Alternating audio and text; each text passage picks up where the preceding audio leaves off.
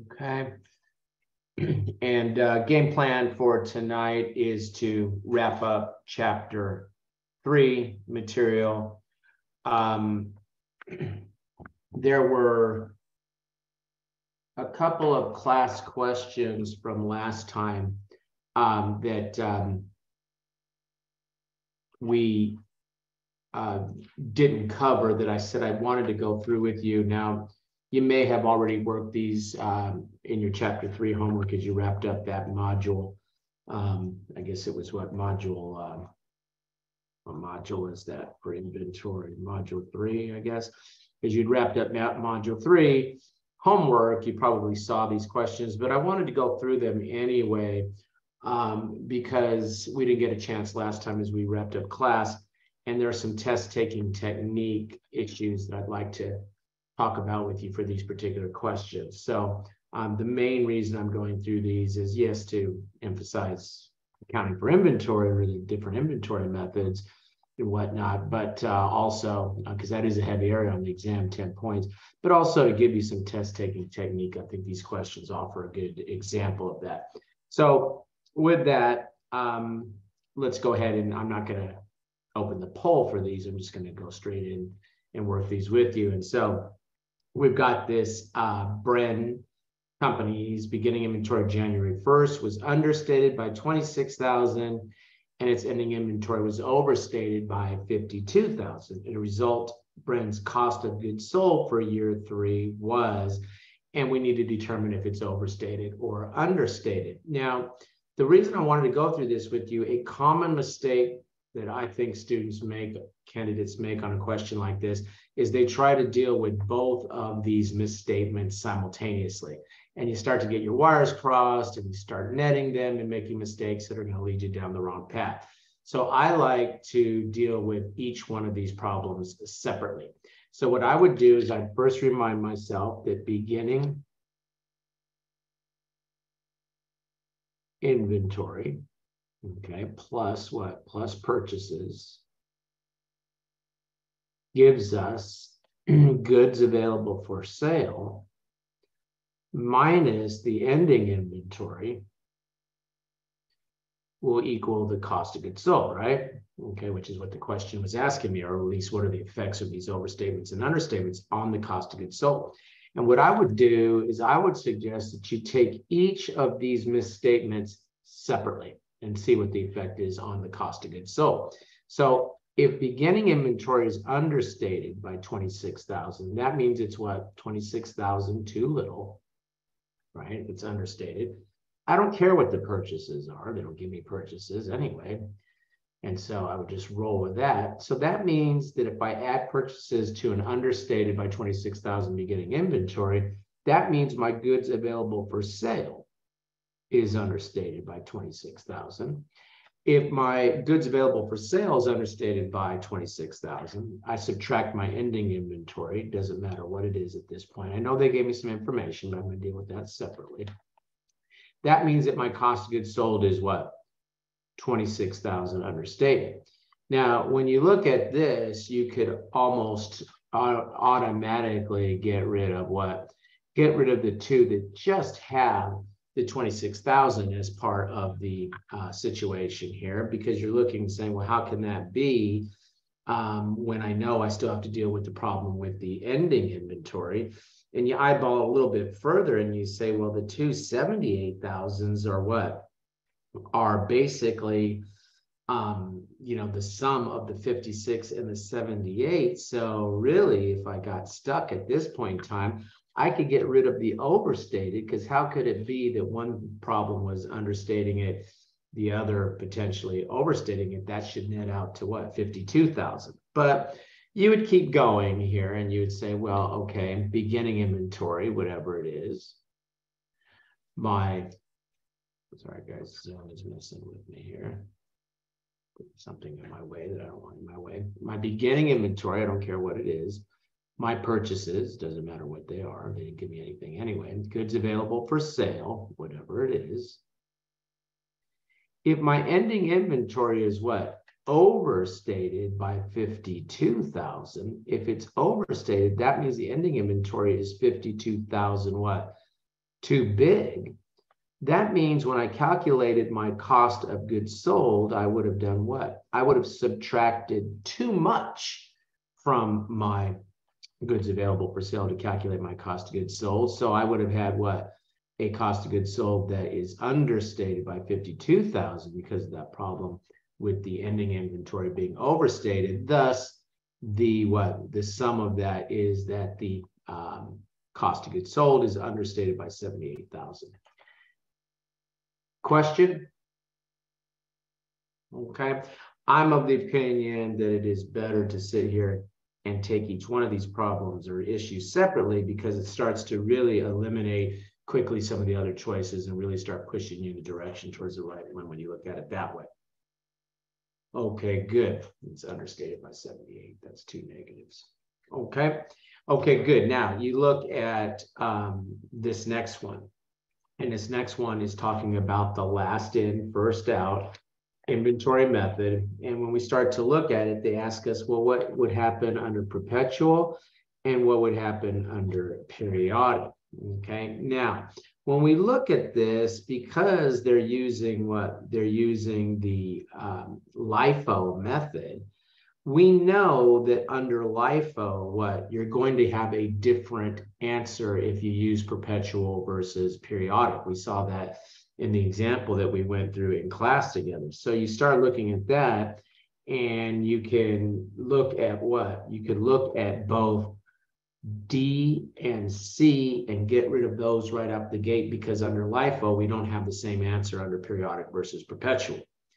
Then we start to look at the information here and we say, okay, well, can we get to um, either A or B? And I'm going to go ahead and I'm going to start with perpetual.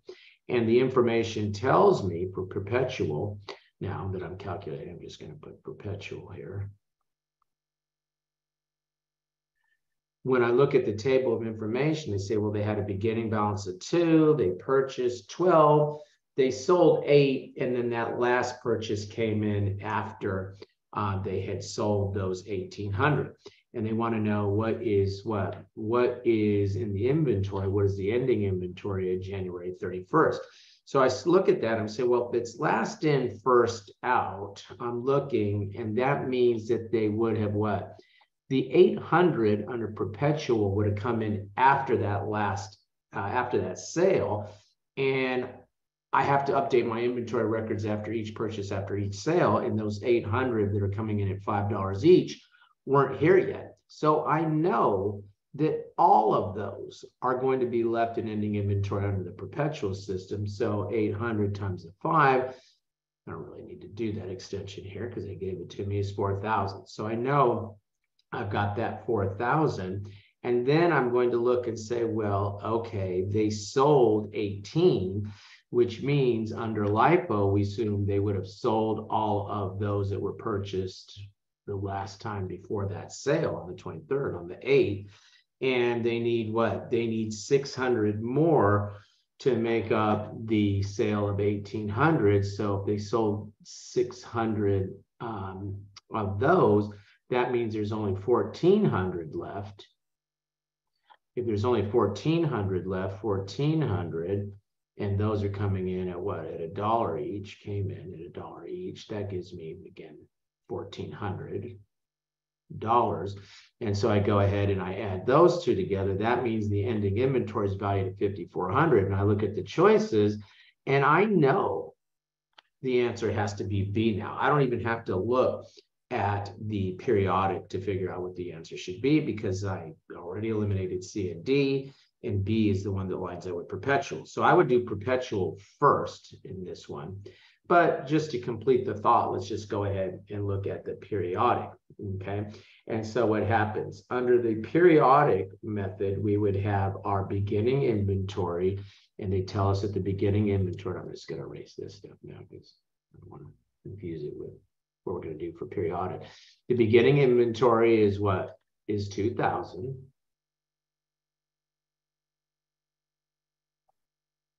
I have to add the purchases and I have purchases of what? I have purchases of the 3600 And then I had purchases of the four thousand, didn't I? So that gives me total purchases of seventy-six hundred. Plus the two thousand means I had goods available for sale of ninety-six hundred. Okay, and then I would go ahead and I'd say, well, minus the ending inventory that I'm supposed to calculate here to answer the question would give me the cost of goods sold. So now I just have to figure out, well, what was the cost of goods sold and under what? Under the um, uh, FIFO method, I would have had what? I would have had 800. Um, I would have, yeah, where am I going with this? My cost of goods sold would have been what? First in, first out. So I would have sold um, to make up the um, how many units did they sell? Now I'm having a problem here. To make up the 1,800 units that they uh, sold under LIFO, excuse me, not, that's what was confusing me. Why was I saying FIFO? Were you doing LIFO in this question? Under the LIFO, I would have what? I would have assumed that I sold 800 at what? At the $5 or 400.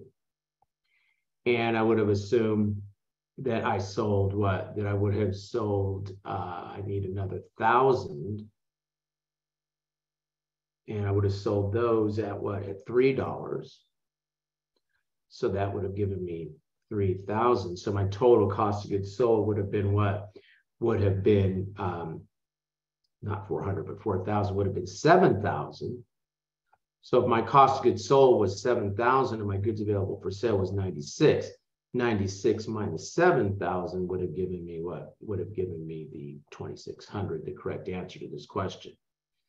Now, again, um, a question like this might take you the full maximum time that we spend with a question, three minutes. But the point of me going through this is if you started to get to where you're maybe spinning your wheels with something like this, you're feeling that you're spending too much time with a question, you could almost get to the right answer just by, you know, working this part and eliminating C and D and backing into B. Question. Okay, good. So that's what I wanted to do last time, and we sort of ran out of time, and I think we were probably tired at that point, and so I didn't want to, uh, you know, sit there and uh, kind of do that at the end. So maybe you saw some of that on your own when you were working through those uh, questions for your homework. Um, and uh, we're going to go ahead now and continue with module four. Okay. Now, property, plant, equipment. Okay. Property, plant, and equipment is going to be land, building, equipment. Okay. Now, when we value our property, plant, and equipment, as you've known for a long time, we use historical costs, whatever we paid for that.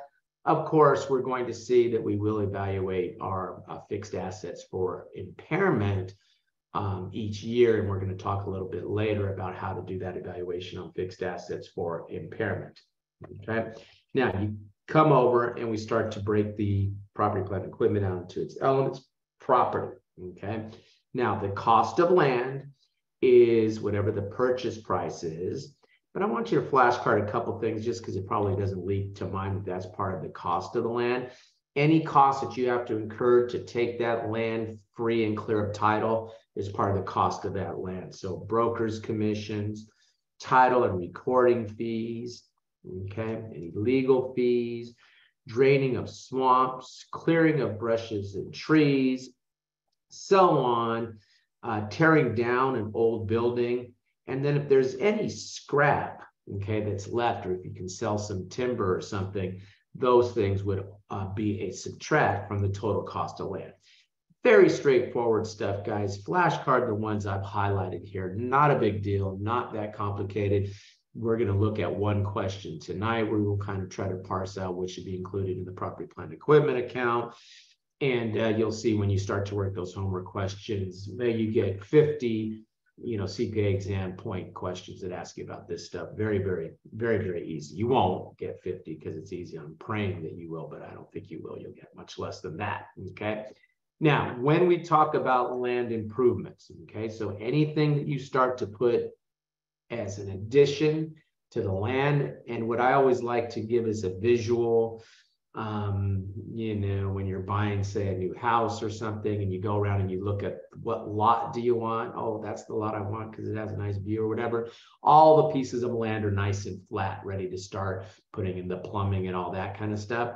That from that point, that is all cost of land. Once they start putting things into the land, on top of the land, those are land improvements. Okay, things like fences, water systems, landscaping is going to be considered a land improvement. And of course, land improvements will be depreciated. Okay. Now, when we start to talk about the cost of the plant, cost of building, they're calling it plant here. Building also would be plant. Okay. Obviously, the purchase price repairs neglected by the previous owner, sometimes called deferred maintenance. There was a bunch of dry rot in the building that they didn't take care of. That is part of the cost of that building. Okay. And they go on with a couple of additional uh, examples, and we'll talk about construction period interest here in a couple of seconds. But I want you to flashcard this pass key. Finally, they give us a nice uh, pass key that helps us which is digging a hole for the foundation and whatnot is part of the cost of the land. Filling the hole, building the base of the building, building the foundation of the building, and going up is part of the cost of the plant, part of the cost of the building. Okay. Um, I'm I said that I said that incorrectly. My bad. I said it incorrectly. Flashcard the passkey, it's correct. I said it incorrectly getting the land nice and flat so you can begin building on it. Okay, go with my visual there so you can begin building on it. Part of the cost of the land, digging a hole for the building, the foundation, the landscaping, all of that stuff is a land improvement or part of the cost of the building. Okay. All right, good. Now you come over and we talk about basket purchase. So you buy a piece of you buy a piece of land and it has a building on it. Well, how much of that transaction price that you paid for that land with the building, how much is land, how much is building, and you're going to have to allocate that as the accountant, as the CPA, because land is not depreciable, whereas a building would be. Okay, so what happens? Let's say you pay five hundred thousand dollars, and you've got land with a building on it. Now, what you do is you'd have an appraisal an appraiser come in. And let's say the appraised value of the land equals 100,000. The appraised value of the building equals 300,000. Okay, so we obviously have a total here of what? 400,000 on the appraised values. The 500,000 then we would look and we'd say, okay, well, for the land, okay, for the land, it's all right, land over here. For land, 500,000 times what? 100,000, which was the appraised value for the land, divided by the total of 400,000 or what? Uh, I think that's 125,000 if I'm doing my math correctly. Yes. So land for the building, thank you. The 500,000 times what? 300,000 of that total of 400,000 would go to the building and of course then be depreciated, right? Now, sometimes students will be like, well, why would we pay 500,000 if the appraised values? Well, what they do in a case like that is they appraise that land as though it didn't have that particular building on it. They appraise that building as though it was not on that particular piece of land. And they come up with those separate appraised values. And they could be different than when you combine those two. When you put a restaurant building in a restaurant district, it's going to have a different value than if it was just a restaurant floating in space or if that land didn't have that restaurant on it. Okay. Okay, good. Now you come over and um, I guess you can flashcard that to allocate. Okay, and you'll see a couple questions like that. I actually find those kind of questions kind of fun. Okay, let's go ahead and let's take a look at equipment. Equipment is similar to a building and that it's the invoice price, if there's any cash discounts. Unlike a building, you don't have to pay freight in on that. Okay, whereas for a piece of equipment, you might pay the freight to get that. Okay, uh, any installation charges, excise tax. Okay, we'll talk about construction period interest here in a little while. But any cost that you incur to get that equipment to your business so you can use it productively in your business is part of the cost of that equipment. Okay. So you might want to flashcard a couple of these that may not jump to mind, such as the installation charges and the uh, excise tax. Um, one that I had a student actually ask me after she had already passed the CPA exam, came back and asked me, what should I do? Um, yeah, I'm working and we had to pay uh, the charge for disposal of computers. Um, they give you that environmental charge that you have to pay. What should we do with it? And I'm like, well, could you have bought the computer if you didn't pay that? No. Okay, then it's part of the cost of the computer. Uh, it's not expense. It's part of the part, part of the cost of that equipment. Okay. Now, what they'll do in some um, questions on the exam is they're going to want to see, do you know, um, part of the cost, the questions of cost of property plant equipment, I should say, do you know what you should do if there's an addition or an improvement or replacement versus a repair? Additions, improvements, replacements should be what? Should be capitalized.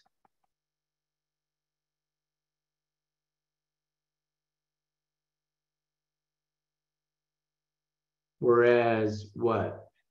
Repairs. Repairs will be expensed, okay? And we'll see that. And when we say repairs, we mean ordinary repairs. And I'll show you that a little bit later. Don't worry if you can, can't read that. It says repairs, but we're going to get into that a little bit later, okay? Or in fact, why don't we go ahead and take a look at some of this right now. So improvements, improve the quality of the fixed asset and are capitalized to the fixed asset account, okay? A replacement, a replacement is also going to be what? Going to be capitalized. So improvements and replacements are capitalized. Now, when you make a replacement, let's talk about replacement. Okay, improvement, you add a wing to the building, that's capitalized. But let's talk about replacements. Okay, they say if the carrying amount of the old asset is known, remove it, recognize any gain, and capitalize the cost of the improvement to the asset account. Okay, flashcard that. If the carrying value of the old asset is unknown, and what should we do? Now, what do you mean the carrying value of the old asset is unknown? What does that mean? Well, how would that happen? Well, let's say I'm going to shoot flashcard what you're to do here, and there's different circumstances. But let's say you buy a building and the building has a roof on it. You use that building for a couple years and then you need to replace the roof. How much of the original cost of that building would have been attributed to the roof versus how much would have been attributed to the rest of the building? You said, I don't know. I paid a whole amount the roof was on there. Okay. So in that case, it could be that what?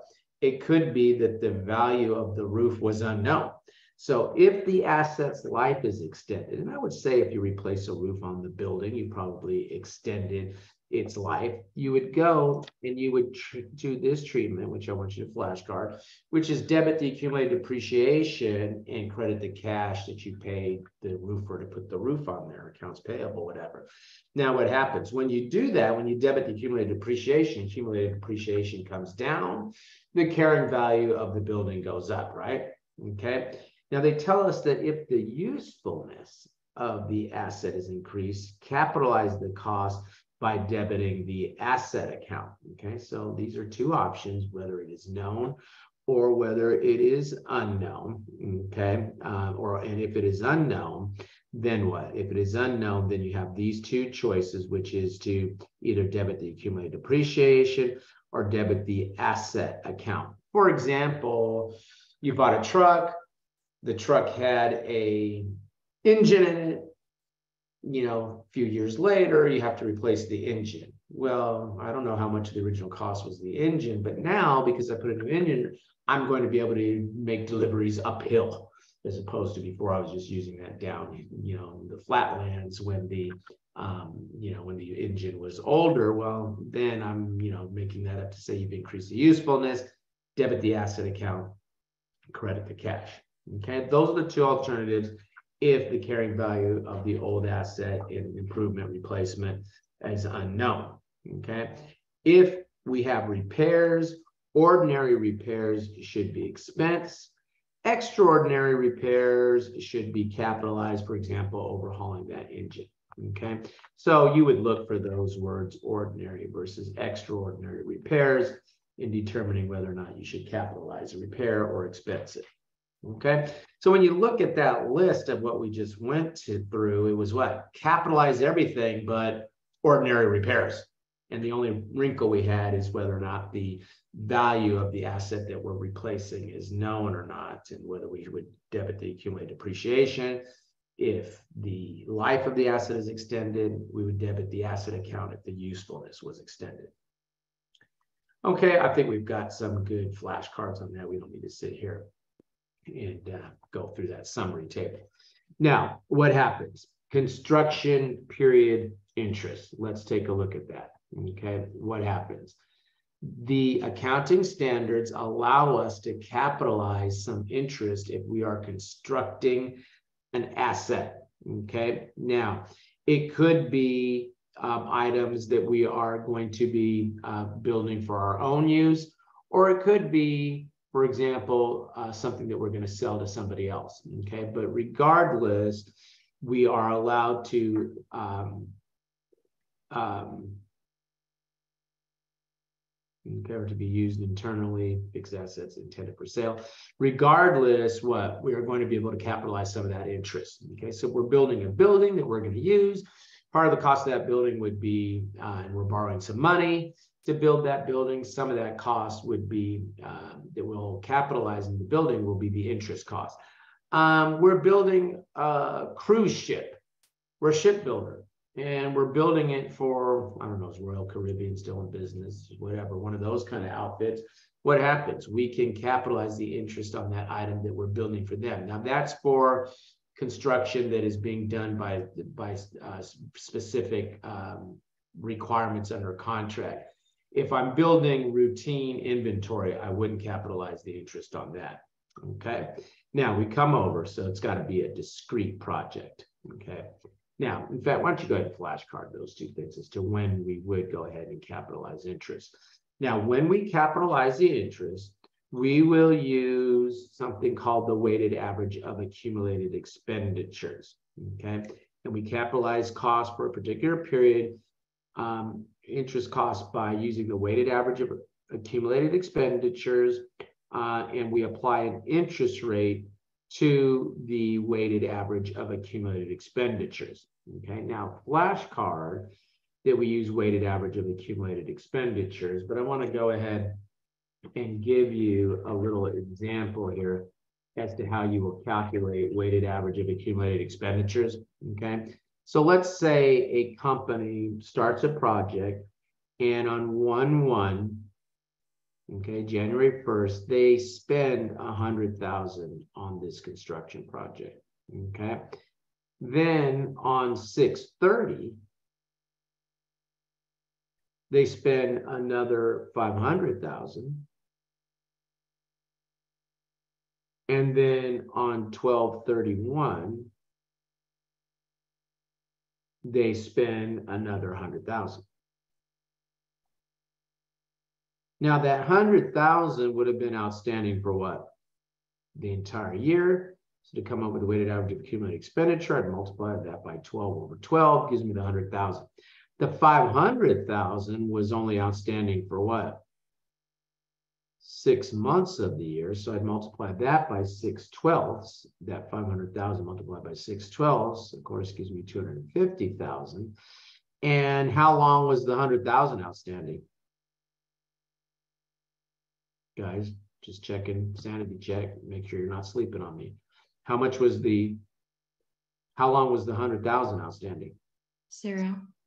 Good, that was outstanding for none of the year, right? Because it wasn't until twelve thirty-one, so that would have an impact on the weighted average. Again, I'm calculating weighted average of accumulated expenditures here. Okay, I'm just showing you how you fix that, calculate that. So the weighted average of accumulated expenditures in this example would be three hundred fifty thousand. Okay, now they tell me I have to apply an interest rate to that because I'm trying to get to the interest. The weighted average of accumulated expenditure is, I mean, they could ask you what is the weighted average accumulated expenditure, but if they ask you what's the amount of interest to be calculated, then I'm going to have to look at the problem and see what interest rate they give me. And they probably will have more than one interest rate that I'm going to have to choose from in that problem. And so the interest rate that I would be using, okay, right here, is the interest that is related to the specific borrowing for that project. So they'll tell you they borrowed so much money for this project and the interest rate was 10%, just to make the numbers easy, you would take that 350,000, multiply that times a 10%. Now, there is a possibility that the weighted average of accumulated expenditures will exceed the amount of borrowing that we use. So our weighted average of accumulated expenditure was 350,000, but maybe we only borrowed 200,000. So what interest rate should we use in this example on that $150,000 excess? Okay. And the interest rate that should be used would be the average interest rate for all other borrowings of the company. And guys, they will give you that number. Okay, so you'll look at a question. They may or may not ask you to calculate the weighted average of accumulated expenditure. I've given an example of how you've done that. They'll give you an interest rate on the specific borrowing. You'll apply that um, to the weighted average of accumulated expenditures unless the weighted average of accumulated expenditure exceeds that specific new borrowing, in which case you will then go ahead and have to look for a second interest rate in that problem. And that second interest rate will be the one that you'll apply to that excess um, amount of um, weighted average of accumulated expenditures in excess of a specific new borrowing. You cannot exceed the actual interest cost for the period and do not reduce any capitalized interest uh, by interest revenue if you had some money or something that wasn't being used uh, right away and you invested that and had an interest savings, you don't reduce that off the amount that would be capitalized. Okay, so you can see, guys, a bunch of flashcards here, but I think by doing that, um, it makes a question like this pretty easy. Let's look at this. So we've got this uh, facts January 1st, Convisor Soup Kitchen signed a fixed price contract to have a new kitchen built for a million dollars. On the same date, Convisor borrowed 500,000 to finance the construction the loan is payable in 100,000 annual payments plus interest at 11%. Okay. I know I've got to worry about that because I know that I have to apply that interest rate to my weighted average of accumulated expenditures, right? Okay. Uh, at least up to the 500,000. Convisor plan to finance the balance of the construction cost during uh, costs using the company's existing debt which had an average rate of 9%. So they give me a second interest rate there. And they tell me that during year one, the weighted average of accumulated expenditures was 600,000 and interest cost on all borrowings was 150,000. Now that 150,000 is going to be my cap. I cannot capitalize more than that. Okay. So what happens? They spent what six the weighted average of accumulated expense, um, excuse me, that was the weighted average of accumulated expenditures was six. The specific borrowing was five. So I'm limited to that five times the 11%. The remaining what? The remaining 100,000, I have to use that other interest rate, the 9%. I add those together. That's the amount I want to capitalize. It does not exceed what? The 150,000. So I've capitalized all of that. Okay. Now, I want you to flashcard what you would be doing. Okay. And uh, let's for the capitalization of that interest. And uh, sometimes the problems will give you events and see if you should continue to capitalize interest or stop. So you start capitalizing interest if expenditures for the assets have been made. That includes what? Um, you know, build uh, drawing blueprints for the building. Anything that you have to do to get that building started as part of that means that expenditures have begun and you should start capitalizing interest. Okay. Activities that are necessary to get the asset ready for its intended use are in progress. You have to have been incurring interest on that. So you've now borrowed the money, you're paying interest. Continues as long as those three are present. Stop capitalizing interest during intentional delays, but continue to capitalize during unintentional delays. So what happens? Intentional delay. I'm building homes and I have different phases and I finish phase one and I look at the housing market and I say, I'm going to stop right here for phase two because I don't think the price of the homes are going to be favorable. I'm going to wait for the market to improve. If you stop construction intentionally waiting for the market to improve, stop capitalizing the interest. Ordinary delay, look out your window right now. If probably if you're anything like what's looking like in Hayward right now, if uh, you know it's raining like this, construction stops, doesn't it? So that would be an unintentional delay. You can continue to capitalize interest during that time. Okay. And then once the asset is done, you stop capitalizing interest. So you built all the homes and now you've got standing inventory of homes and what's happening. You continue to pay interest on a loan that you took out for those, whatever, you will stop capitalizing that interest and that will go all into expense. That's why I tell people sometimes it's favorable to walk into a housing development towards the end of the development because they want to get out of that project and onto another. And they start to cut you some pretty nice deals on as they try to sell that standing inventory because not only are they paying the prop um, the property tax on those that are standing, they're also incurring interest, and their investors are going to start to say, "Hey, let's get out of this thing, stop incurring these interest expenses, and move forward with the sale of these things." Okay. Okay, good. That is pretty much what I want to cover there, guys. I actually flashcard those rules. Okay. You can see it is a very, um, you know, rule laden area here. I gave you a bunch of flashcards, but not really, you know, terribly conceptually difficult.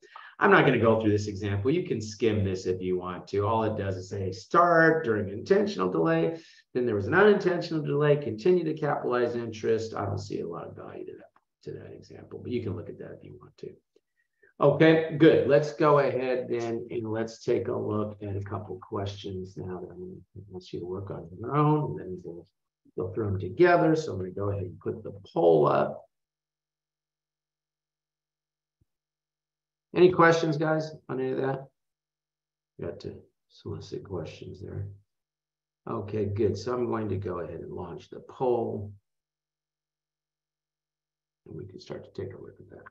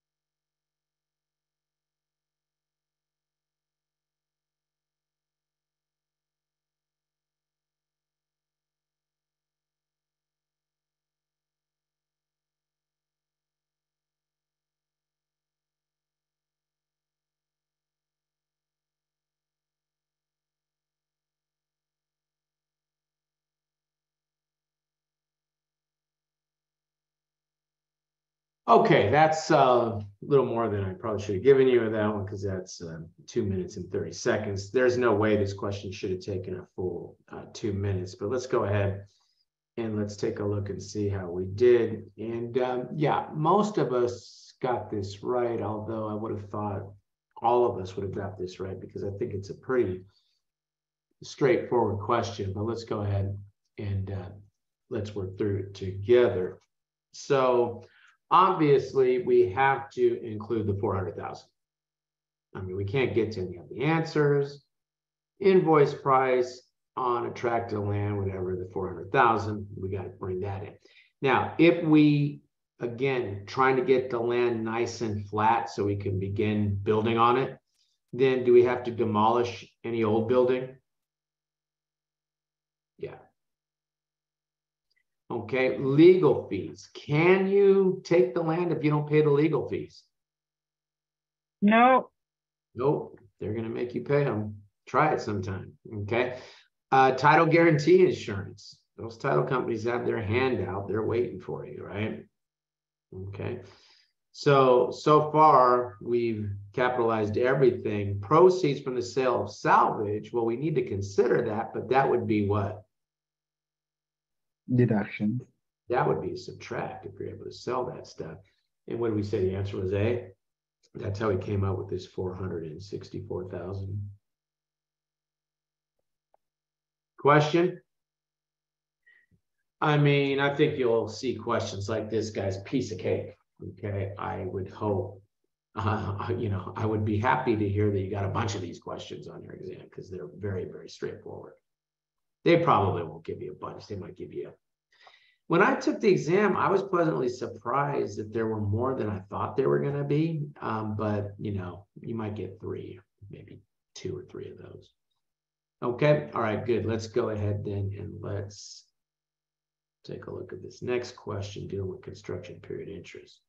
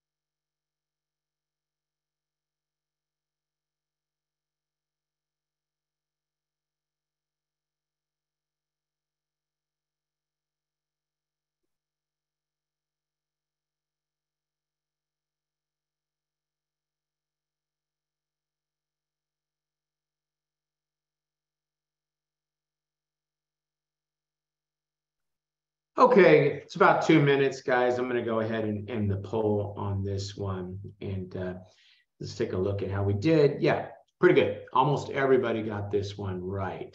Okay. Uh, the choice is B, but let's go ahead and let's um, take a look at how we would have done this. Sorry, my mouse likes to play hide and seek with me. Um, so let's just go ahead and let's take a look. And what happens? They want to know how much should be capitalized during the year. We know that we have to use the weighted average of accumulated expenditure for that. Um, they didn't tell me that in the question, but we know from our flashcards that that would be the case. So we'd have to take what? We would take the million dollars that they spent on January second, and we would consider that outstanding for the entire year. Guys, the exam doesn't get into fractions of months or anything on the exam, so you don't have to worry about that. So that would be what? A million dollars for questions like this. Okay, that would be a million dollars, right? And then they spent what? They spent another million on twelve thirty-one, and uh, just like the little example I gave you, that would be what? That would be zero twelves. Okay, be careful. They spent it December first, then it's going to be what? One twelfth, right? So you'd have to look at that. But here, since it was, you know, um, the last day of the year, it wasn't outstanding at all. And then they have to give me an interest rate on this, and they tell me what there was eight percent on this construction loan of uh, three million. And so what happens? We take that eight percent times the one million. That's eighty thousand. Now, when I look at that, which was the correct answer,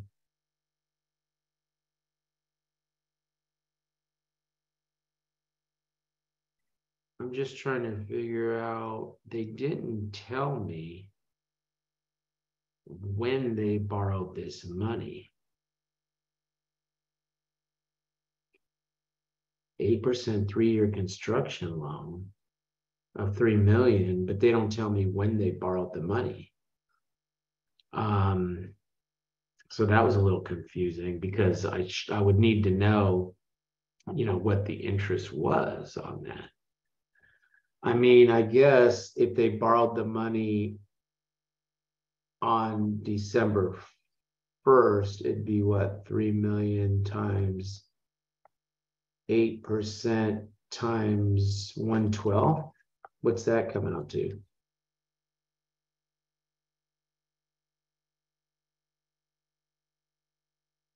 Guys, three million times eight percent times one twelfth is what?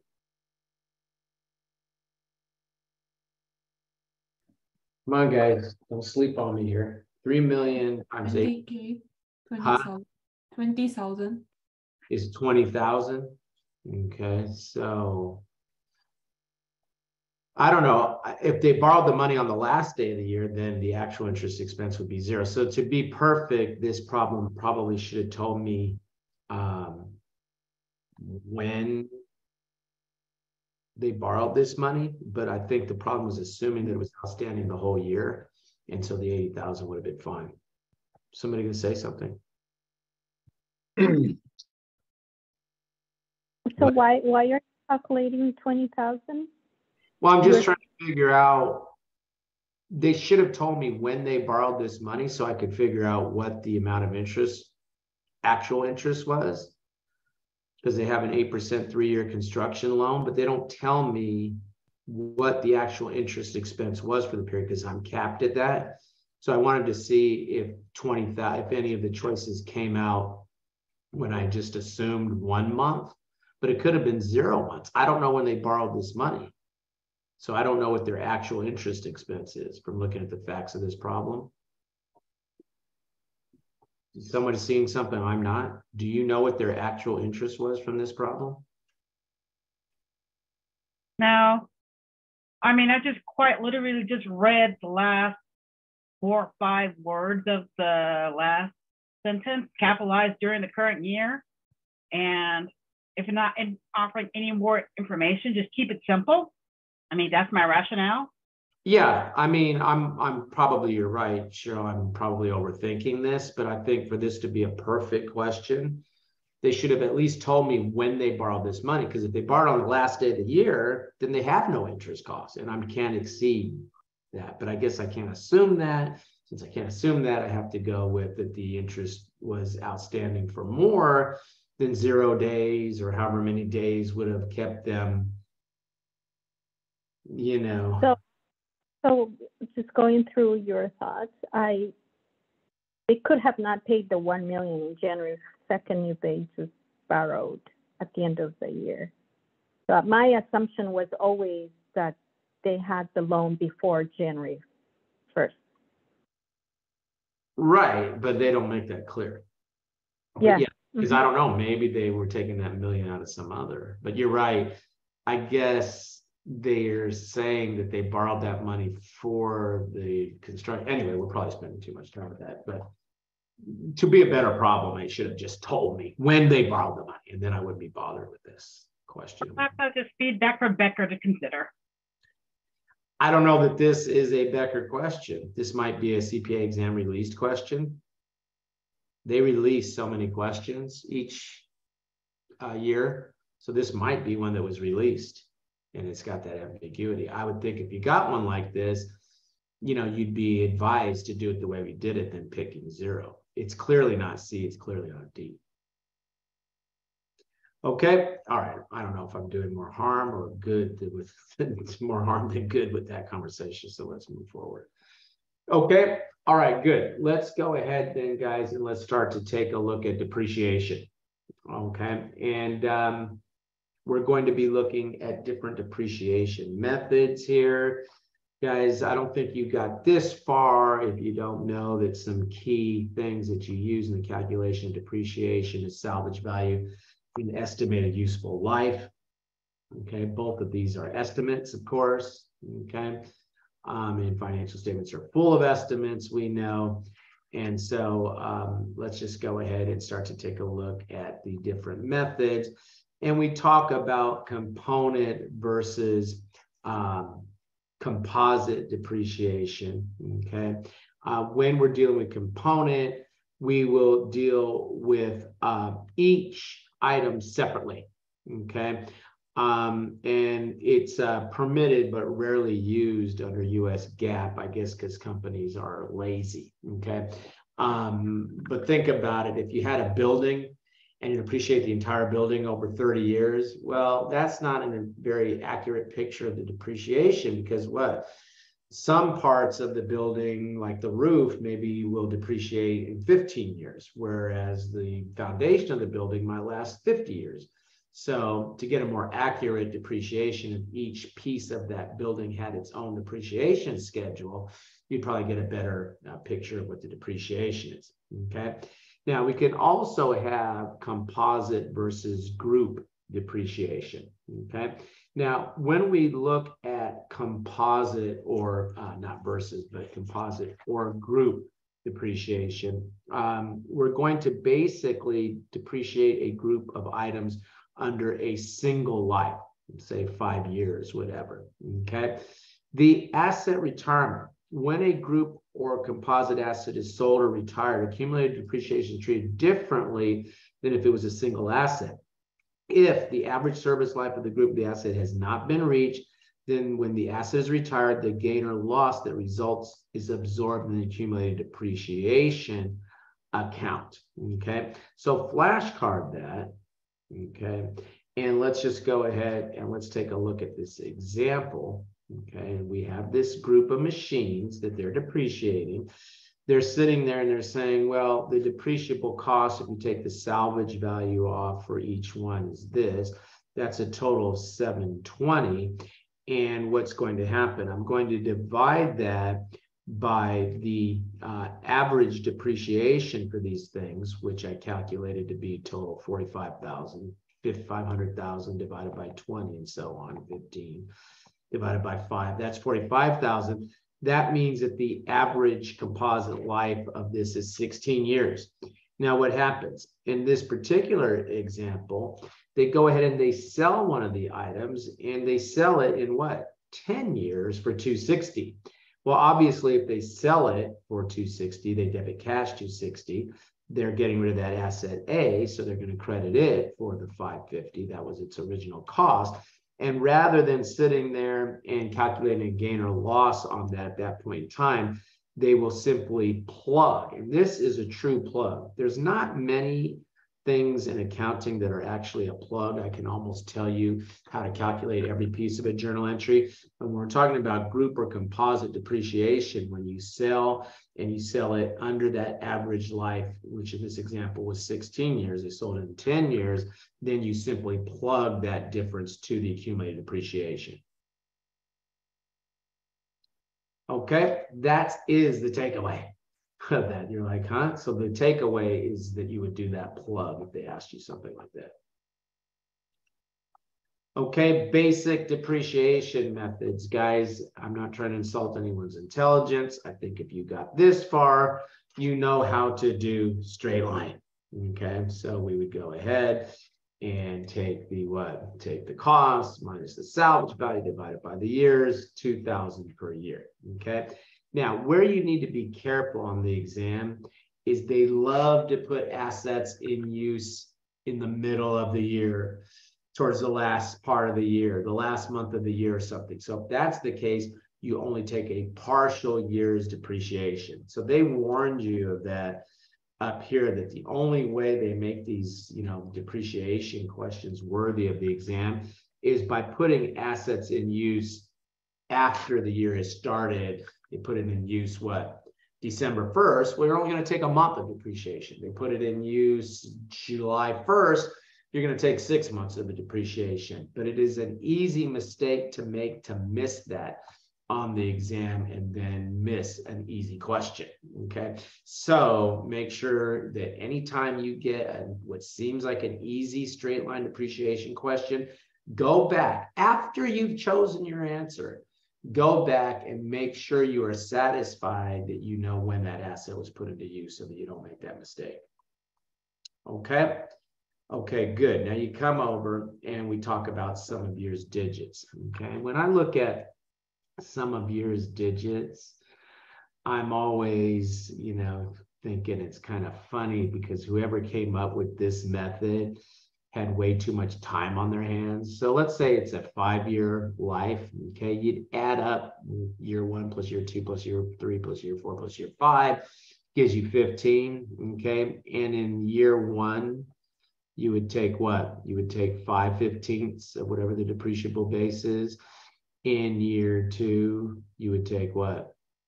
Four fifteenths of the depreciable base. Year three, three fifteenths of the depreciable base. Year four, we do what? Two fifteenths. In year five, we would take one fifteenth, and by that last year, we would have taken 15 fifteenths. I mean, again, whoever thought of this was clearly couldn't get a date. Okay. So what happens? What we would do is to come up with the um, depreciable expense, we would go ahead and we would take what? We would take the cost minus the salvage value and then multiply it times whatever the appropriate fraction is in whatever year. Year two, you'd go ahead and you multiply that times 4 fifteenths and so on. Okay. Now, flashcard that, but also flashcard this formula. Okay. And it's a simple little thing. It's not a big deal to figure out the sum of the digits, even though the CPA exam free, uh, rarely goes beyond five years. I don't want you to run into some stupid question where they give you 50 years and you have to sit there and go one plus two plus three plus 47, 48. Did I say 46? Let me go and start that over again. So if it's, you know, more than say five years, probably use this formula. Otherwise, you could just use on your calculator one plus two plus three plus four plus five is 15. You're done pretty quickly and you don't have to use this formula. Okay. Now, when we look at this example, okay, we have what? We have the 11,000 cost.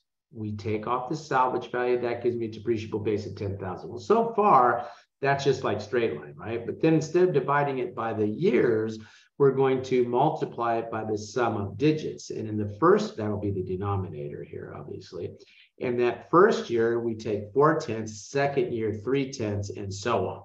Now, a lot of times you'll see on a question, they'll say, just to make it a little bit interesting, what would be the carrying value of the asset at the end of year two? Now, the way I will do that is I'd say, well, look, I know I would have taken four tenths in year one and three tenths in year two. So that means that I would have depreciated what seven tenths off that 10,000. So that means that my depreciation by the end of year two would have accumulated to 7,000. So what's the book value at the end of year two? That's a question. 3,000? Huh? 3,000. Okay, Or good. Thank you for making that mistake, because that's what I was the objective of me asking you that. It would be what? the eleven thousand cost minus what? Minus 7,000. seven thousand that would have built up in accumulated depreciation by then. Okay, so I asked that question, um, Roy, if you don't mind me calling you out on that one. Uh, intentionally, because that's an easy mistake to make, right? So just Oh yeah, the salvage value. Right, right. Okay, okay, good. That's an easy mistake to make. When I look at your homework questions, sometimes I do that for fun if I'm bored. And I always make that mistake. I always subtract it from the depreciable base as opposed to the original cost. So easy mistake to make. Just make sure you don't do that on the exam. Okay. Okay, good. Now, another way to calculate depreciation is to again to take cost minus salvage value. That's just like straight line, just like we talked about for sum of years digits.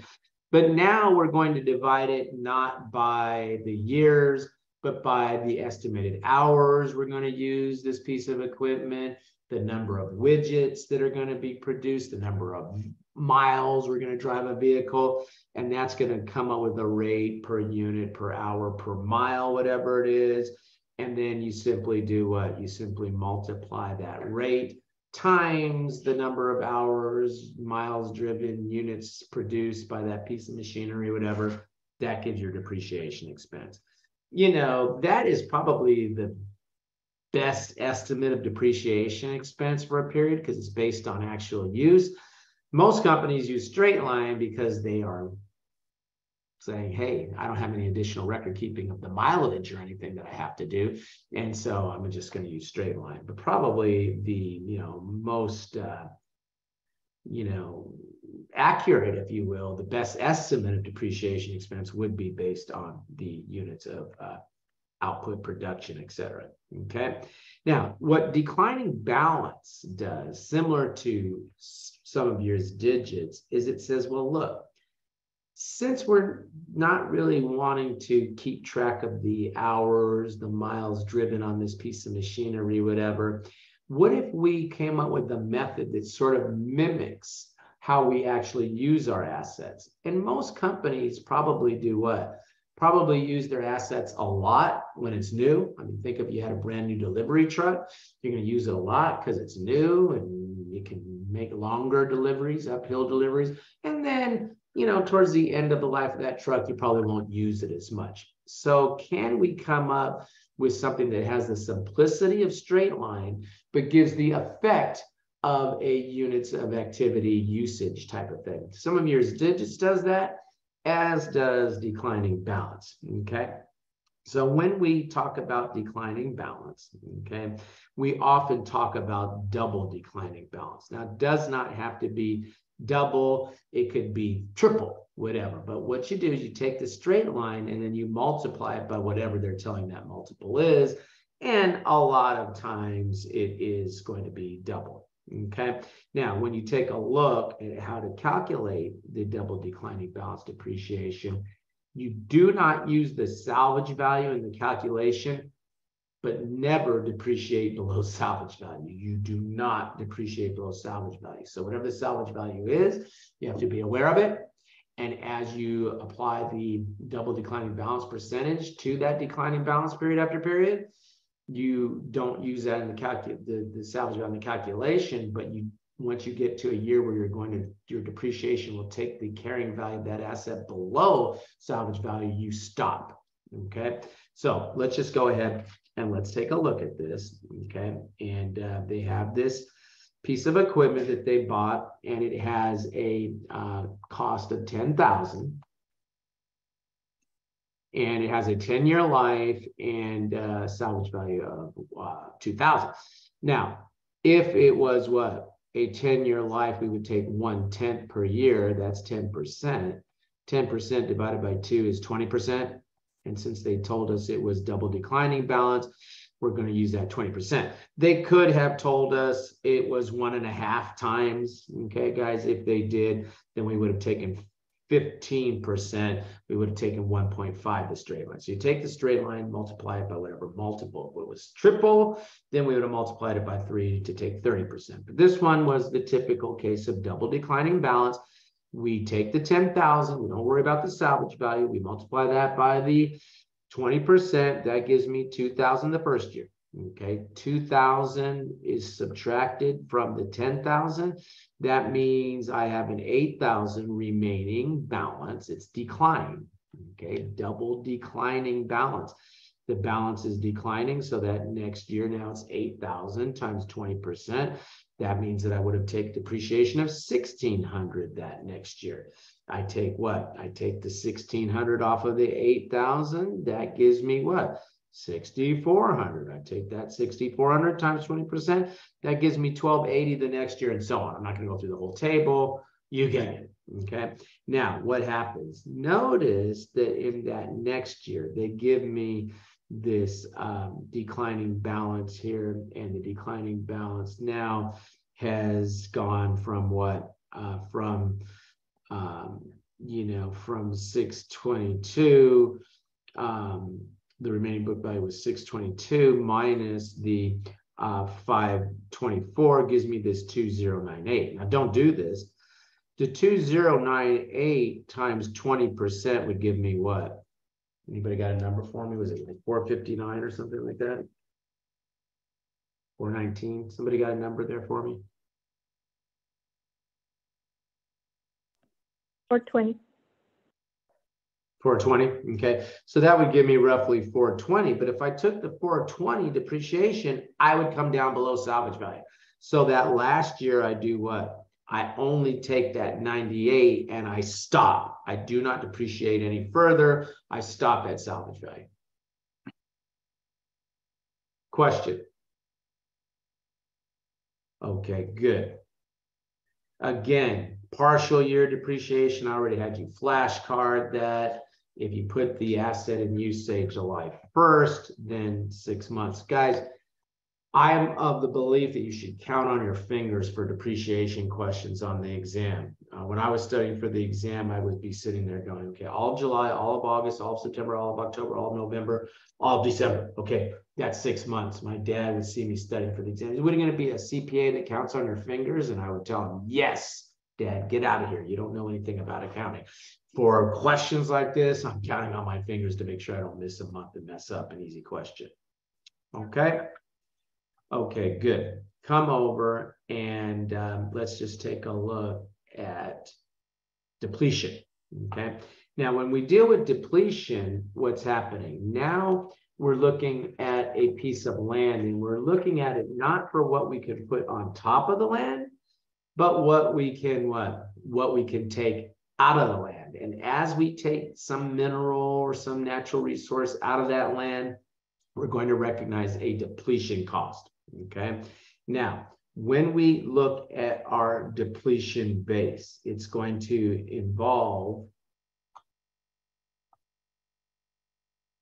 this flashcard down here. Okay. So our depletion base is whatever it costs us to purchase that property plus development cost. Look, you can't put a vacuum cleaner on top of the land to pull coal out of the land. You've got to do what? Build mining shafts and stuff. Well, you would add that to the cost of the purchase price of the land. Okay. Estimated restoration costs. The federal government comes in and they tell, and many state governments come in and they tell somebody like a coal miner, hey, you can't just leave a hole in the ground where you took all that coal out. You're going to have to sit there and you're going to have to restore that land and put some sort of recreation facility on top of it or something. Now, a lot of companies walk from that responsibility and the federal government really lacks teeth to go after companies that do that because you have states like West Virginia and Ohio and parts of Pennsylvania that they need in order to, you know, control the Senate and that kind of thing. And so a lot of times they don't enforce those rules. Politics is a terrible, dirty game, but they are supposed to restore that. So what it would be their estimate to restore, you add that to the cost, and then after you restore it, you know, you say, well, look, I just took a big hunk of, you know, out of the side of the hill here. And if you ever go on 580 in the East Bay, you see this huge housing area to your left there, all kinds of houses and beautiful condos with nice views and stuff were put up there. Well, that was a quarry pit. They took a big chunk out of the side of the hill and then they sold it to some developer later to put condos and houses and stuff up in there. And so you would subtract whatever you think you can sell it for after you restore it from that depletable base. Okay, so you got that depletion base, what you paid, okay, what you had to do to get it ready to use, okay, what you're gonna have to pay to restore it in the future, minus what you think you could sell it for. And then you divide that by the estimated recoverable units, whatever that is, that then gives you what? That gives you your unit depletion rate, okay? And then you take that unit depletion rate and you multiply it by the number of units you extracted. That's your total depletion, okay? Now, once you have that total depletion, okay, if the units extracted are not sold, you just have them sitting in a pile waiting for somebody to come and buy this coal or iron or whatever it is you took out, then you would have to allocate the depletion between what you did sell, the cost of goods sold, and inventory. Okay, the amount of depletion um, is calculated uh, it, that is included cost of goods sold is calculated by multiplying the unit depletion by the units sold, and then the units that are not sold obviously would be sitting in the ending inventory. Okay. Okay, good. So go ahead and flashcard that because they do like to sometimes break that out as to what is cost of goods sold versus what is inventory. But let's just go ahead and let's take a look at this example. Okay, so you've got this happy mining company, and I'm just going to go straight down the solution, guys. Here, they paid for a million for this. Uh, actually, they didn't pay for a million. They paid 3.4 million. That's the cost of the land they paid development cost of 800,000. They estimate the restoration is zero. So they must know something about the federal government too. Or maybe they're doing this in a state like Ohio where they're just going to walk from the mess when they're done. And then um, they go ahead and they would subtract the residual value. That gives me a, that's that total, a depletable base of 4 million. They think they can take 4 million tons. Okay, that's just coming straight from the problem up here. And so what happens? It's a dollar per ton. If 375,000 units, okay, during the year, 370,000 tons were sold, and they did what? They removed 400,000, then the total depletion is 4 million the cost of goods sold is what 375 and the ending inventory would be the remaining 25,000 so you need to look at the question. If they're asking you you know what should be the inventory you have to take whatever they sold minus what they removed. That would be the number of units times that uh, cost per whatever it is ton pound whatever it is and that's how you come up with the ending inventory. Okay Okay, good. Let's go ahead. I guess this is a good pass key. I don't know. Uh, you know, you could use the mnemonic reel, but I gave you a flat card as to how to handle that depletion, depletable base. Okay, good. Let's go ahead and let's take a look at a couple questions here.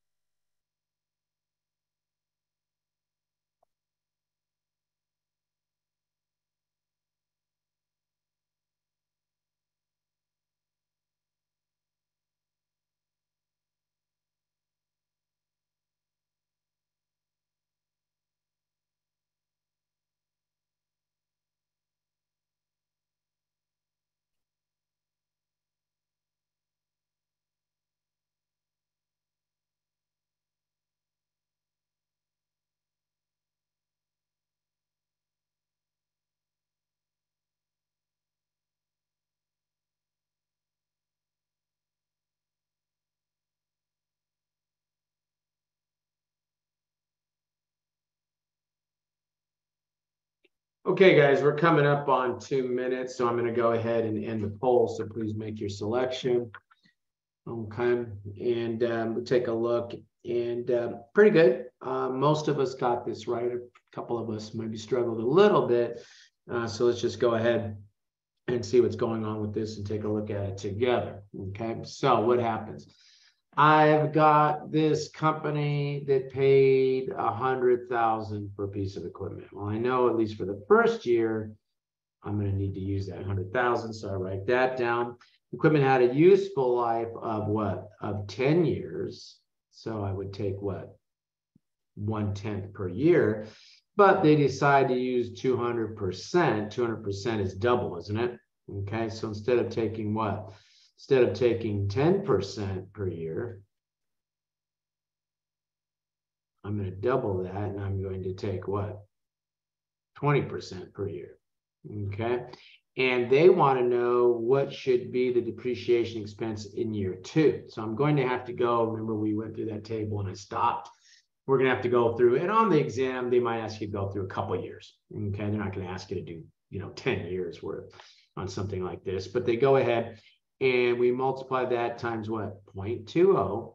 That means for year one, the depreciation equals what? 20,000. We take that 20,000 from year one, we subtract it from the beginning of year one. That gives me what? 80,000.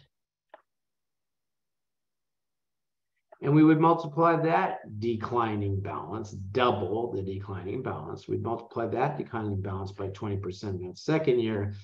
That gives me the 16, uh, not 1600, but 16,000.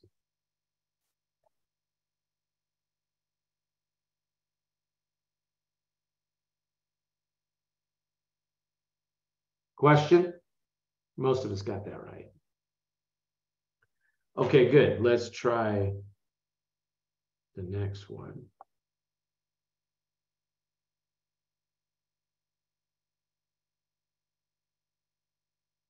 My mouse is playing hide and seek with me again.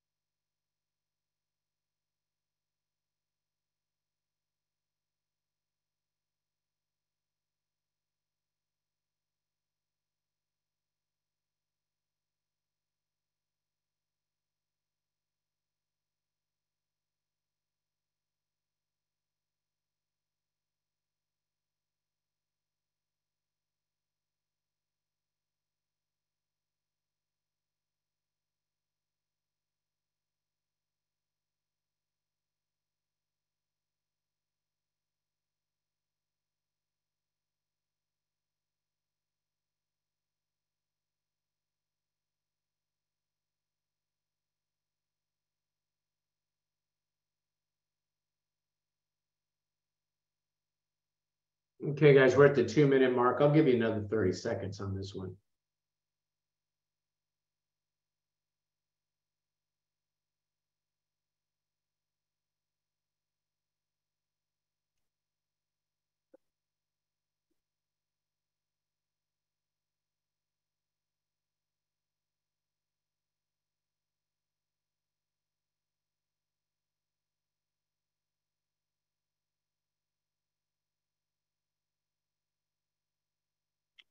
Okay, I'm gonna go ahead and end the poll, so please make your best selection, okay? And let's go ahead and let's take a look at this one. Okay, and most of us got this right. Okay, a couple of us had a little bit of trouble with it, but let's go ahead and take a look. The answer here is B. Let's take a look at this one. And do I need to pick up this two million six hundred and forty thousand to come up with the, the first thing I'm gonna do is come up with the depletion rate. I know I have to deal with that. So I'm just gonna put that down, two hundred six. Okay. Now I know that after I figure this all out, I'm going to what cost to include, I'm going to divide it by what? The one million two hundred thousand tons. Okay, so I picked that number up. Um, we will be required by law to restore the land to its original condition, a cost of 180. Should I pick that up? Yes. Yep, gotta pick that up. Um, the Office of Surface Mining is the federal agency that's supposed to enforce those laws. They don't do a very good job. I was on an assignment where we looked at that and it was just ridiculous what they were doing anyway. But they were bound by certain uh, legal um, requirements that Congress had put in there, mainly because West Virginia, in Pennsylvania, in Ohio, in states that have hardly no people, have to, well, Pennsylvania's got a lot of people, but those states that have hard, they both get two senators. Anyway, so Boris uh, believes that it would be able to sell the property afterward for 300,000, but they incurred what 360 of development costs. So just so I keep all my pluses together, I'm going to bring in that 360 and then I'm going to do what? Subtract the 300 because I can sell it after that. Yes. Okay, so when I do the math on that, I be, I come up with a uh, depletable base of, uh, I'm seeing by my earlier calculations, two million eight hundred eighty thousand. Yes. I divide that by one point two and I come up with what, two dollars and forty cents per ton. Now, I have a little problem with the way they phrase this question. Um, they tell us that what um, the uh, they they removed and sold sixty thousand tons. So what should it report on its income statement um, as depletion? In other words, cost of goods sold, right? The, the way they worded that was a little weird. But since they removed and sold 60,000 tons, 60,000 times the 240 gave me the correct answer of 144,000.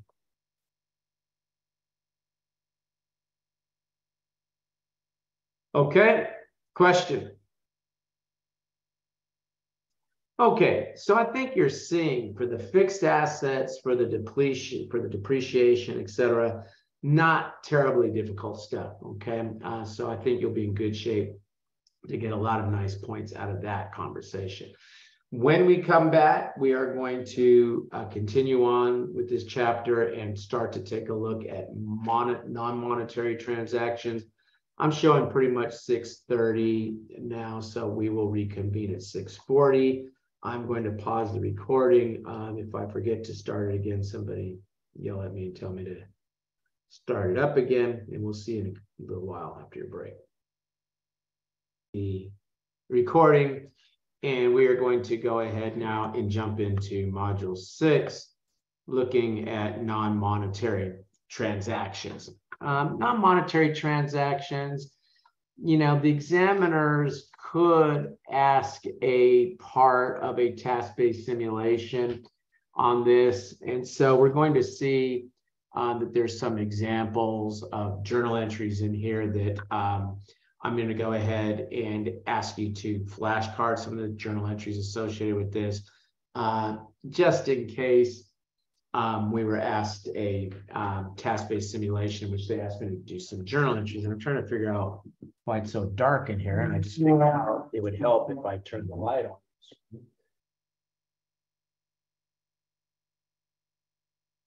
Okay. Things look better, I think. Okay. And um, when we take a look and we have um, transactions that are non-monetary. They would fall in one of two categories. They either have commercial substance or they lack commercial substance. Now, they tell us that a transaction has commercial substance if the future, cash flows will change as a result of the transaction. So flashcard then, but when you look at CPA exam questions, they're either going to tell you that the transaction has commercial substance, or they'll say cash flows will change significantly as a result of the transaction, which means it has commercial substance. Or if they are silent on both those points, which really should not be the case, but include your on your flashcard, or we are exchanging dissimilar assets, dissimilar assets. So we're going to be giving up a car in exchange for a building or something like that. And if you think about that, that's consistent with the cash flows changing significantly because the cash flows you would generate off a fleet of vehicles is different than the cash flows you'd probably generate off of a building.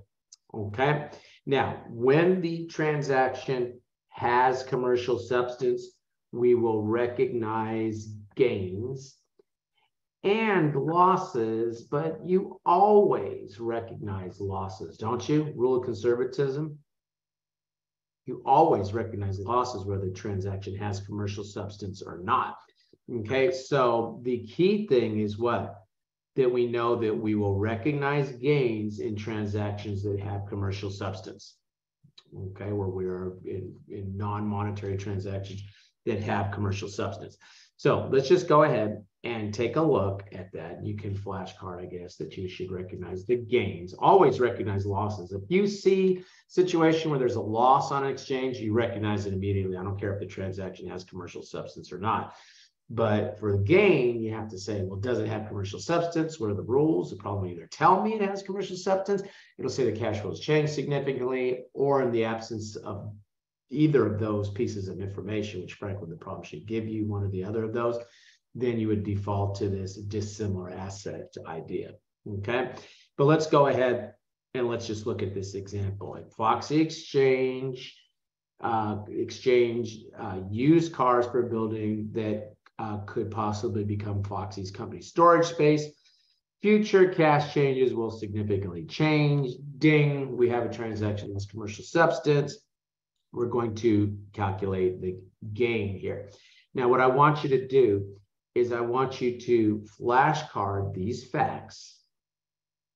Okay, flashcard these facts with the required, and then I want you to be able to pull out a flashcard, I mean, pull out a piece of scratch paper when you're going through your flashcards and calculate the gain based on this fact pattern. Okay, so what happens? The cars had an original cost of 102, accumulated depreciation of 62. So the book value of the cars was 40,000. Their fair value was what? Was 45,000. So that means we have a $5,000 gain. Not bad. Okay. Then they want us to calculate the or prepare, I guess not calculate a journal entry, but you prepare a journal entry based on that. Okay. And one of the first things you want to do is be able to calculate the basis. Well, I shouldn't say it's one of the first things you want to do. Let's look at the journal entry first. Okay, so go ahead and make another flashcard now that would go ahead and ask you to calculate the um, value of the building, but uh, the journal entry, okay, to record the exchange. Okay, so I want you to again have a flashcard in the middle of your flashcards. It'll ask you to do this. You break out a piece of paper, prepare the journal entry, compare it to the answer that's on the flip side. Again, I am giving you muscle tissue that will be useful if they ask you task-based simulation in this area. Okay, and you'll see a task-based simulation example in your homework as well for this, okay? But what I'm going to do here is I want you to number the journal entry in the order that you would put together journal entries. What happens a lot of times when a CPA exam question asks my students for a journal entry, you freeze because you can't think of the first line of the journal entry, what should be the debit, whatever, and you freeze. You don't have to put together the journal entry in the order of debits first, credits this. You have to first debit this before I can credit that. you can figure out whatever's easiest for you first. Okay, so since the cars cost 102,000, they're getting rid of them, you would credit the cars. If you are getting rid of the accumulated depreciation, since as you debit depreciation expense, credit accumulated depreciation, that would have a credit balance, you debit it to get rid of that accumulated depreciation. Okay. Then you would go ahead and since they said that they had to pay cash of 20,000, you know you have to credit the cash for 3,000. We just calculated the gain. That's the difference between the fair value and the book value of the asset that's being surrendered. They just gave us. So we know we have to credit that gain. The last thing you would do in this journal entry is the building. Now, that's if they ask you for the whole journal entry. Okay, that's the order you'd put that journal entry together. Okay, but if they don't ask you for the whole journal entry, they just ask you for the value of the building, like this required up here. I don't want you to have to make a whole journal entry for that. So I'm going to have you flashcard a rule. Okay, and the rule is the carrying value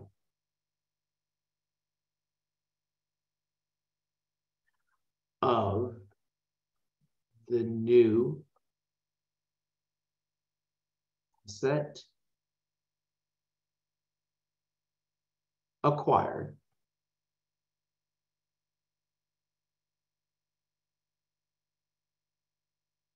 equals the book value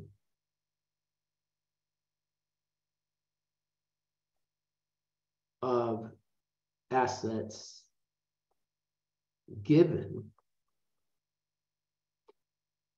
plus any gain or minus any loss. And of course, it can't be both a gain and a loss. It has to be one or the other. Flashcard carrying value of new asset acquired equals the book value of the asset given up plus any gain or minus any loss. And we're going to continue to use that rule as we go through different scenarios. Okay, let's try it for this one, see if we come up with the right answer. What was the book value of the cars?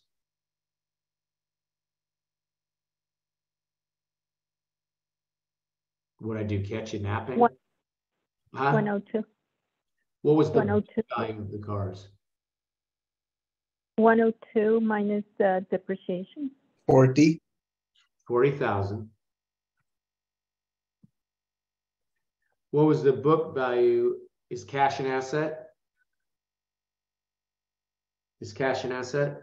yes. Did you give up the cash? Give up cash of twenty, Okay.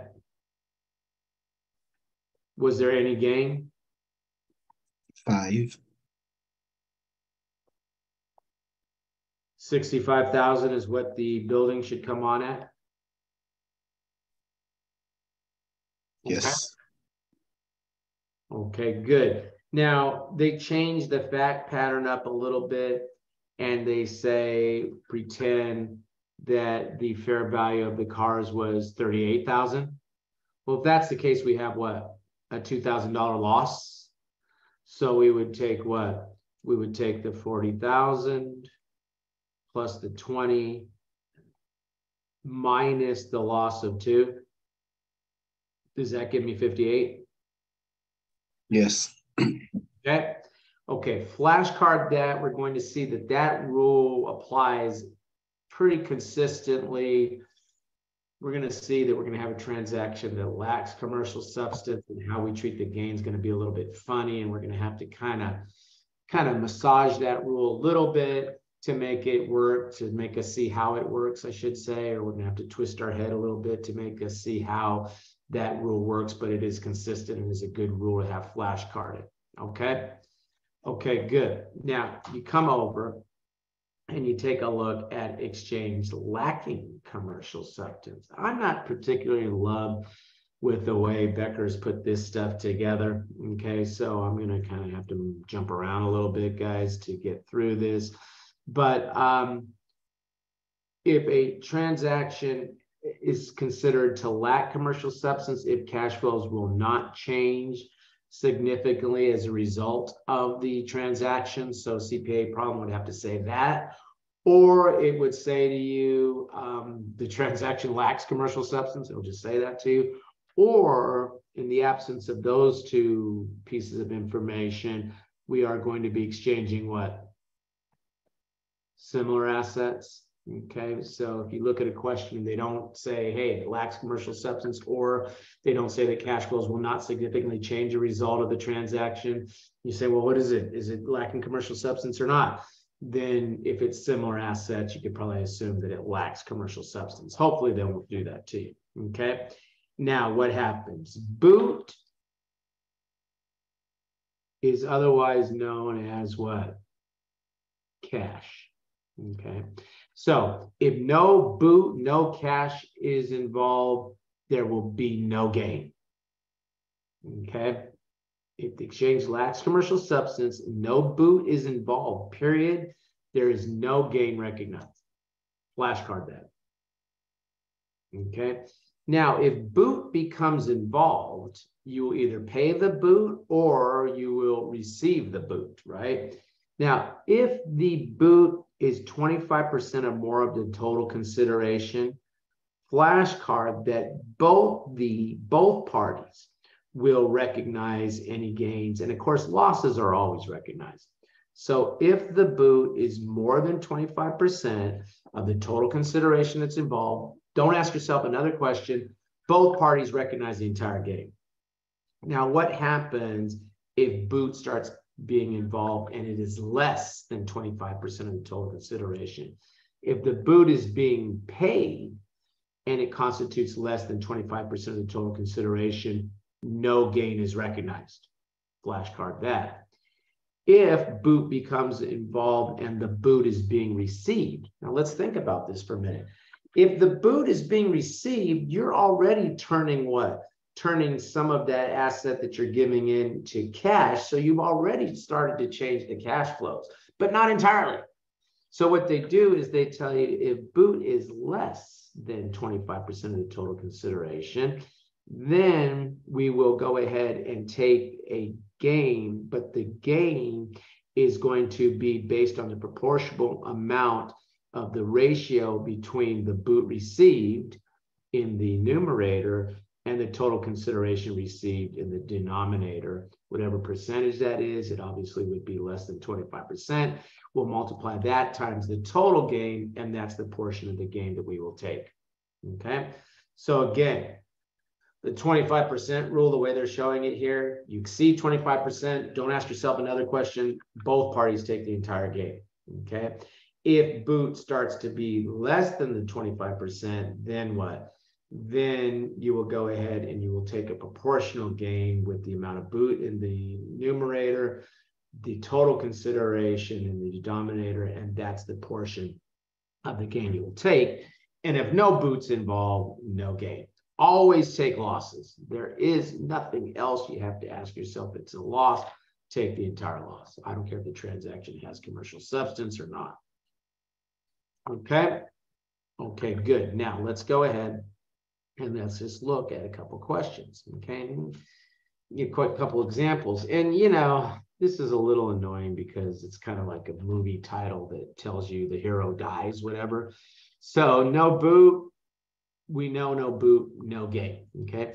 So machine A is exchanged for machine B.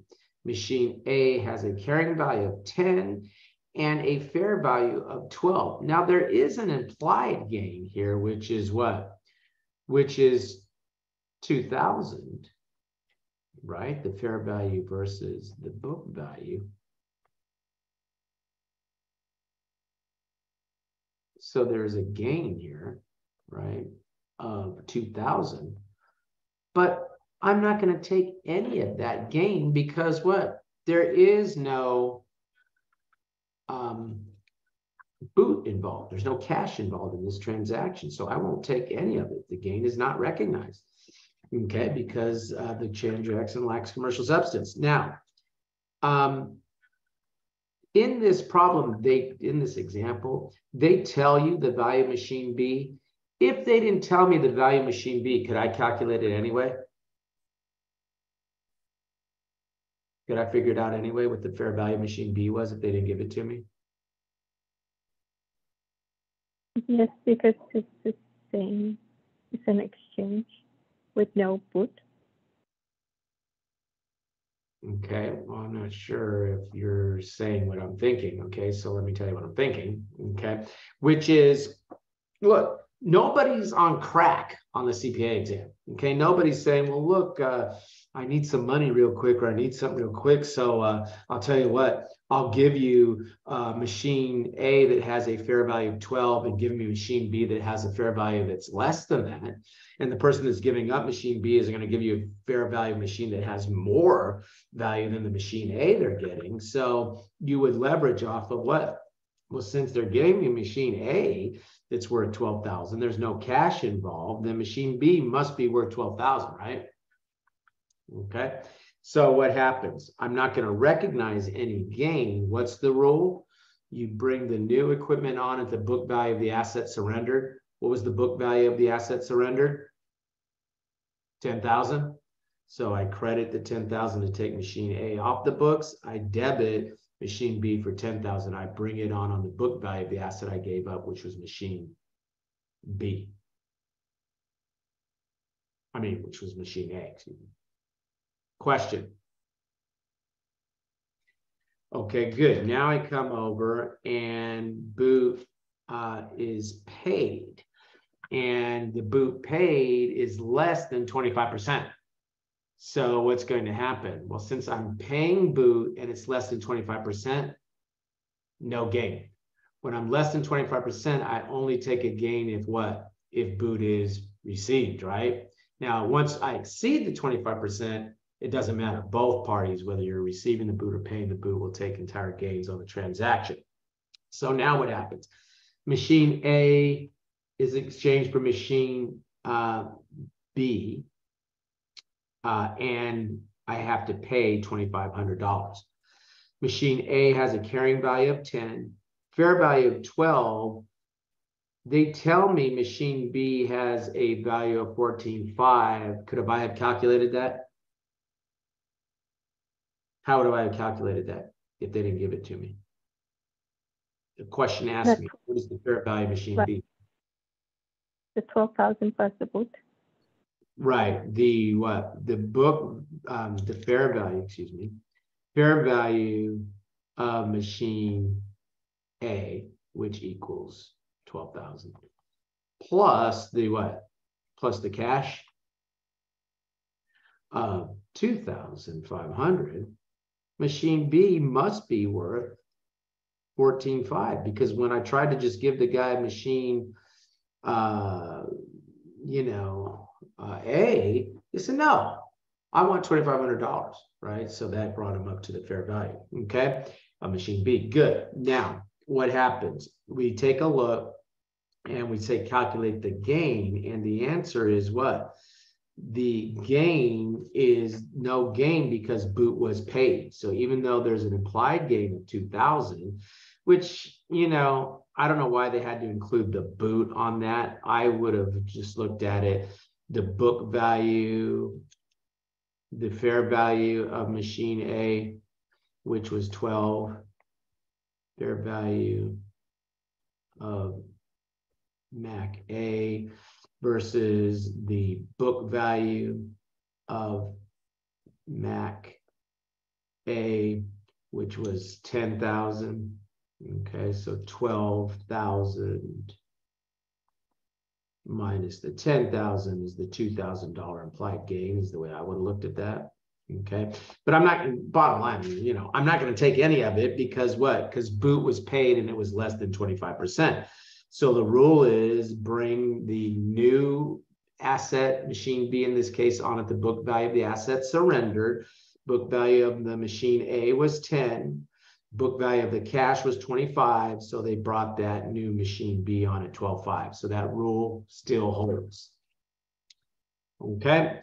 Now what's happening? Now we're in a situation where boot is received and we're less than 25% so now the entity that receives the boot will have to take a portion of that gain okay so what happens machine a's carrying value is 10 Machine A's uh, fair value, machine's book value, carrying value is 10.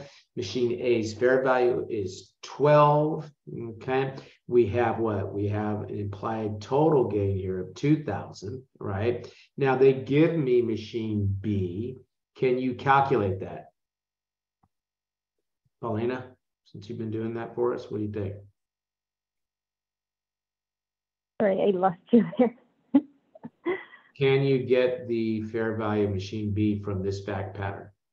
I mean, I know they're giving it to us, but what if they didn't? What if you had a CPA exam question that just asked you, what's the fair value of machine B? And all they gave you was these three. What would you do? So it's the twelve thousand minus the two thousand five hundred because you're giving up machine A for the fair value of twelve thousand and you're giving a boot on it Right. or you're receiving Right, you're, you're receiving, yeah. Fair value machine A is twelve, the cash that you're getting is what? Is twenty-five hundred, so someone said, hey, I'll give you this machine B, said, forget that, I'm not giving you machine A, which is fair value of twelve. Uh, for just, uh, you know, that stupid machine B, I want some cash. So that means that machine B's fair value must only be what, ninety-five hundred? Yep.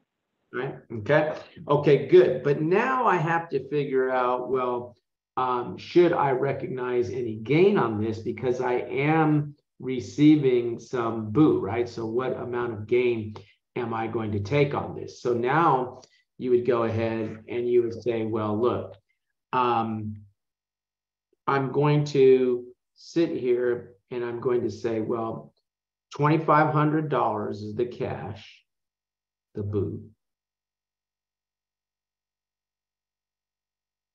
And the total consideration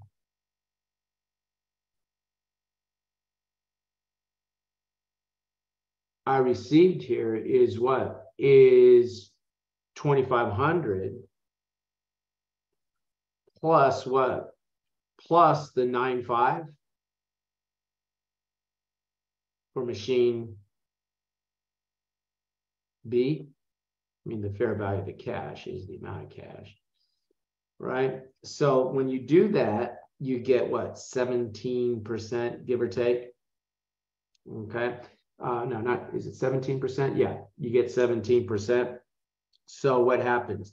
I will now be able to take a portion of that gain. Where am I getting 17% from? What did I do? Where are they getting 21%? Huh? Hmm?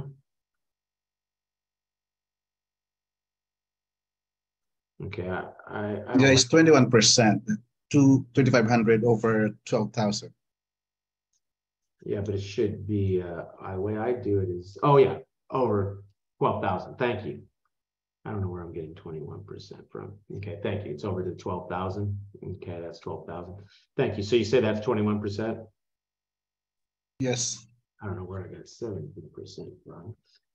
Anyway, we are what? We are under the 25% of the swiss strike that out, just save me from doing that another time.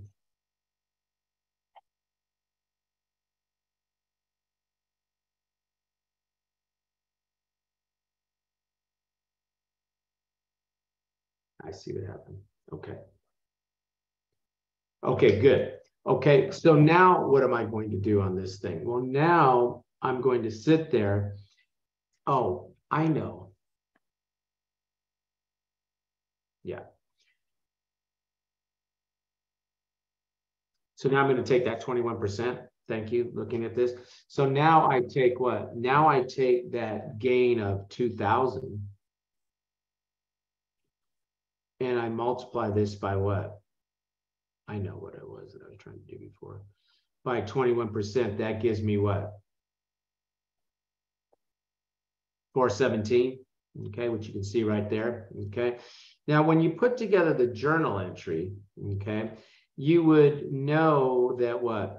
That machine A is coming off at its book value of one.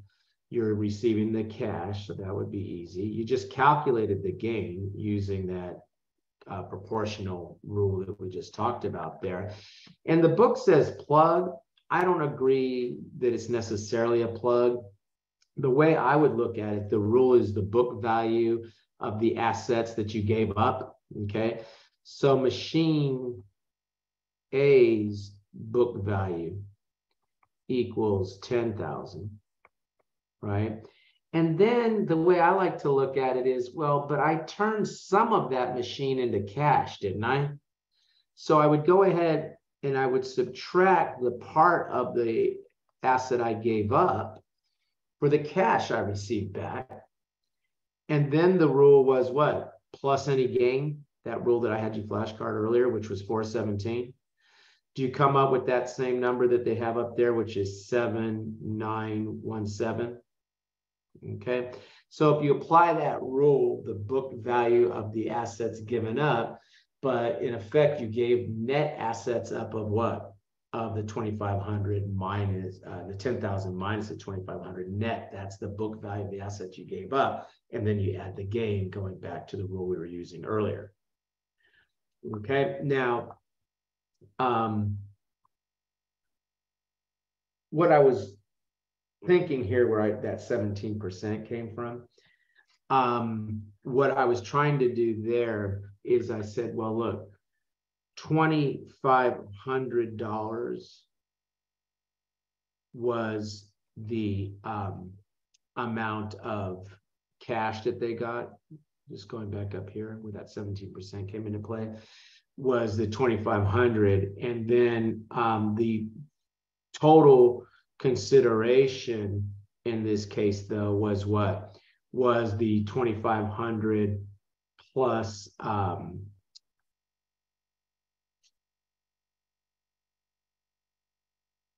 um, the total consideration was this 14.5. And when you take the 2,500 divided by the 14.5, what do you get? 17. 17%, okay? And because we're what, we're under the 25%, nobody takes the gain. Because remember, if you start to go over 25%, who takes the gain? If you go over 25%, who takes the gain? Both Both parties. Everybody. So even, so you got to be careful because that you'll see question in the, in your homework, you'll get confused because you'll say, well, wait a minute, cash was paid, so why are they taking a gain? And the answer is they must have exceeded the 25%. Okay, question on that? Okay, good. Now, So I have. Yeah. yeah, um, Because you're calculating, uh, calculating the percentages for machine A and B, right? That's the difference between the twenty-one percent and the seventeen percent. So the twenty-one percent was the two thousand five hundred over twelve thousand. And the seventeen is the twelve thousand five hundred over the fourteen thousand five hundred. Right, because in this case, the total consideration would have been the twelve-five plus the, uh, the, where am I getting that? I've only done this question a million times and now for some reason I'm drawing a blank on it. It's machine A's fair value. Because I'm giving up machine A, which has a fair value of twelve, Mm-hmm. plus the cash's fair value of twenty-five hundred, right? So Mm-hmm. of the total consideration, the cash makes up twenty-five hundred of that. That's where the seventeen is coming from. Because I'm giving up machine A that has a fair value of um twelve. Fourteen. Mm-hmm. Well, machine A's fair value is twelve, right? And I'm giving up cash that has a fair value of twenty-five hundred, right? Mm-hmm. So the total consideration there is fourteen-five, of which the cash only makes up twenty-five hundred of that.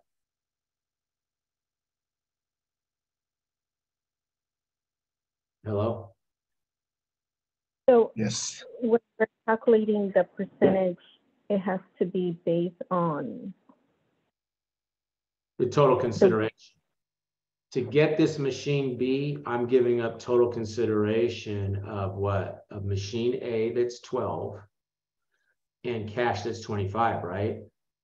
But when boot is paid, which is the case here, I only take the gain if the cash constitutes um more than twenty-five percent of the total consideration, which it does not, so they didn't take any gain.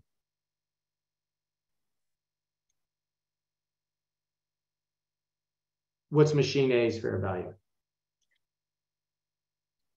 Machine A fair value is Twelve. what's the cash's fair value?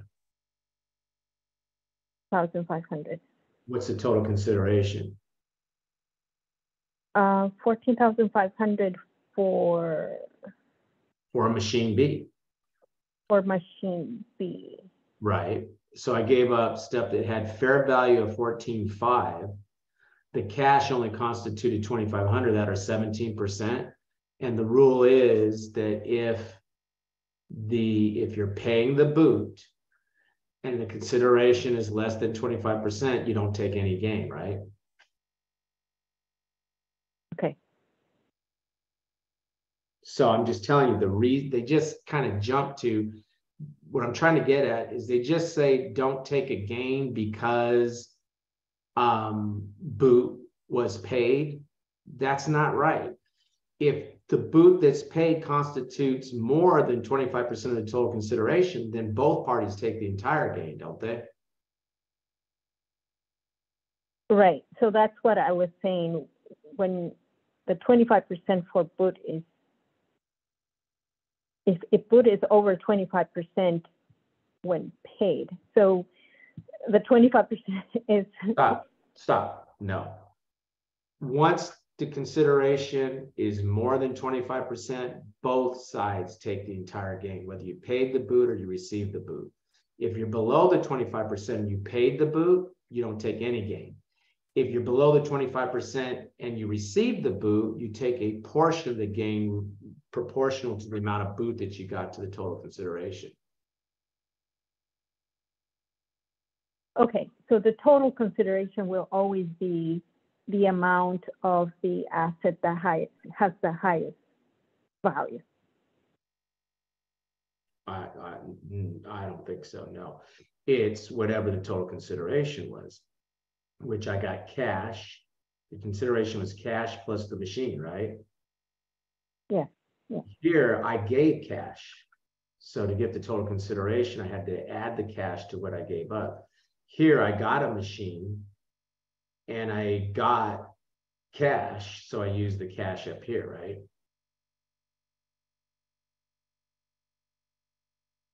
Well, look, work with it on homework questions and you'll see what I'm talking Yeah. about. When you get a question where they don't, where the consideration received is less than twenty-one percent. And they're going, I mean, is more than twenty-five percent, I should say, and they're gonna take the gain. And then you're gonna be like, oh, okay, that's why John stopped to do that. Because the way the book makes it sound is as long as you're under twenty-five percent and boot is paid, don't take any gain, and that's not right. Okay, or as long as boot is paid, I should say, don't take any gain, and that's not right. There are instances where if the boot is more than twenty-five percent, everybody takes the entire gain. Okay, all right, so that's all the time I'm gonna spend on that, because we gotta move forward. So let's come over. I mean, I, I'm, I'm a little confused, Paulina. Why are you not seeing the point that I'm making here? Uh, I'll make, What are I'll you work on the home. I'll Yeah, work on the home, Again, I'm just telling you that if, again, if boot is paid, don't just go with this idea that because is paid, no gain is recognized. If is paid and the boot paid constitutes more than twenty-five percent of the total consideration, then you do take the gain, right? The entire gain? Yeah, that's all I'm trying to say here. Okay, good. Okay, so let's go ahead and let's move on. We don't need to look at that last example, kind of belabors a point that I think we understand now. So uh, just quickly, if there's an involuntary conversion, okay, um, somebody says, hey, we're going to take over the land or whatever, and we give you a hundred thousand. and the thing that they're taking from us has a value of seventy-five thousand, uh, excuse, excuse me, a book value of seventy-five thousand, then we would consider that in that case a gain. If they took, you know, the building from us and gave us less cash, that probably shouldn't happen, then of course that would be a loss. Okay, okay, good. When I say that shouldn't happen in real life, that shouldn't happen, but if it did, it would be a loss. Okay, good. Let's go ahead then and let's take a look at a couple questions here.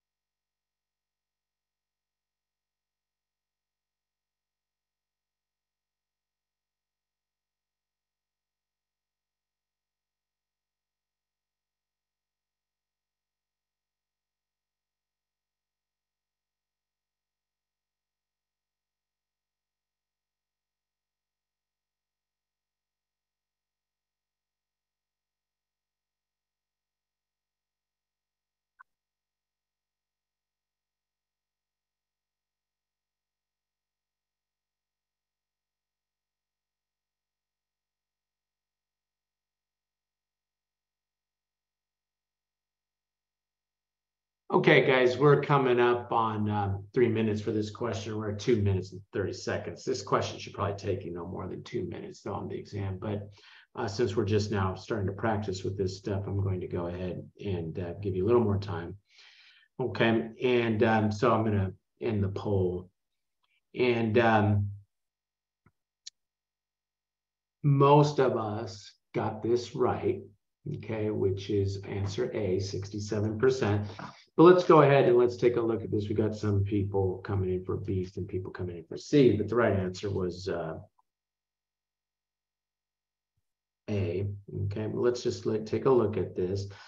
And just peeking down a little bit here, when you look, notice that it says that the transaction has commercial substance. So if it has commercial substance, will I be taking any gain? Yes. Yes, I'm going to take the gain. And they're telling me that they want to figure out what should be uh, on the balance sheet as investment. So in this problem, they were giving up a truck and they were receiving what stock back. So they're saying the the asset that you're acquiring, what should you bring it on at? And so we know that the rule is the book value of assets given up plus any gain. And we know that we will take a gain or minus any loss if the book value of the asset we're giving up has an amount that is less than the fair value. So I start looking at this and they say, well, they gave up a truck for the stock. And on that date, the truck had a carrying value of twenty-five hundred and a fair value of three thousand. So is there a gain on that truck? Is there a gain on that truck? Yes, Okay, good. So the fair value of the truck is what? Is three. The book value is twenty-five. So I have a gain of five hundred. I know I have to take that, okay? And then I'm sitting there and they say some information that is a distractor. Also, I'm striking it out because it's a distractor. Okay, and we picked up these two hundred and fifty shares the book value, blah, blah, blah. But then it says, what should Balt report December 31st as the investment in ACE? Well, it was the gain plus what? Plus the book value of the asset surrendered, which was the truck. So the truck would come on, I mean, the stock would come on at 3,000, wouldn't it? And I'd go ahead and I would uh, have to credit the gain, credit the truck for 25 and debit the um, stock investment for three. Question. Okay, good. Let's go ahead and let's take a look at this one. Again, that flashcard, what, you know, and you notice here, guys, that they can put all kinds of nonsense in there that has nothing to do with what you need to do to solve the problem. What was the book value of the assets that were surrendered? plus any gain or minus any loss. Okay, good. Let's go ahead and let's take a look at this one. Question two. I'll put the poll on.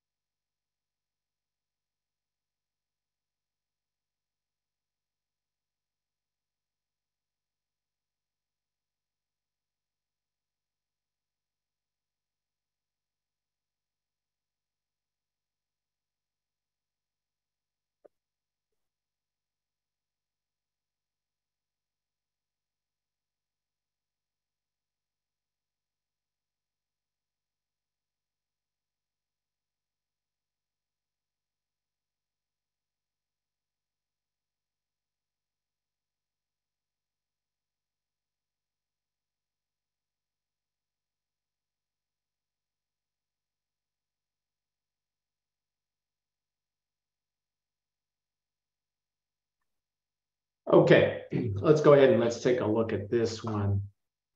And they ask us, we have a, I'm, I'm gonna go ahead and end the poll. And share the results, and most of us got it right, okay? Um, but let's just take a look at this one together, and there is a little test taking technique going on here. So a transaction was reported a non-monetary exchange of assets under which of the following stance, circumstances would the transaction be measured based on the reported amount of the non-monetary asset surrendered, the non-monetary asset surrendered. Now, if we're just basing it off of the non-monetary asset surrendered, the book value, and it doesn't say there plus any gain or minus any loss, that means there's what? No gain or loss on that transaction? Because they're just saying the book value of the asset surrendered. So this must be a transaction that lacks commercial substance, right? Because they're not telling me to worry about any gain or loss. We're just worried about the book value. Machine A, 10,000, machine B, 10,000. We just brought machine B on the book value, machine A, and there was no um, gain or loss contemplated because the transaction lacked commercial substance. Okay, now that's one way to look at it. The other way to look at this question, when cash flows are expected to change a result of the exchange, um, that means that the transaction has commercial substance, doesn't it? Guys? Yes, Yeah. correct. Okay, and in B, it says when the timing of future cash flows of the asset differs significantly, which is another way of saying cash flows are expected to change. Yes, So A and B are the same thing, aren't they? And then when the transaction has commercial substance, which is basically what A, B, A and B are describing. Can there be three right answers to a question? No, Okay, so you could have got it that way, but again, that one flashcard that I had you put. When we are calculating the value of the new asset, it's what? It's the book value of the asset surrendered. Plus any gain or minus any loss, and if it's just the book value. That means is what they said in this problem, that means that there is no what? There is no gain or loss to contemplate, that means the transaction lacks commercial substance. Okay. Okay, good. Let's take a look at intangible. Now, um, intangible assets, okay? And there are a couple of different types of intangible assets, okay? Those are those that are specifically identifiable. Trademarks, etc., are specifically identifiable. Goodwill is not specifically identifiable. Okay, so um, in other words, goodwill, you can't point to a patent or something like that. Okay, now how should we account for intangible assets? And if you pick up the financial statements of a company and they are reporting an intangible asset, that means that they acquired that from another entity. Flashcard that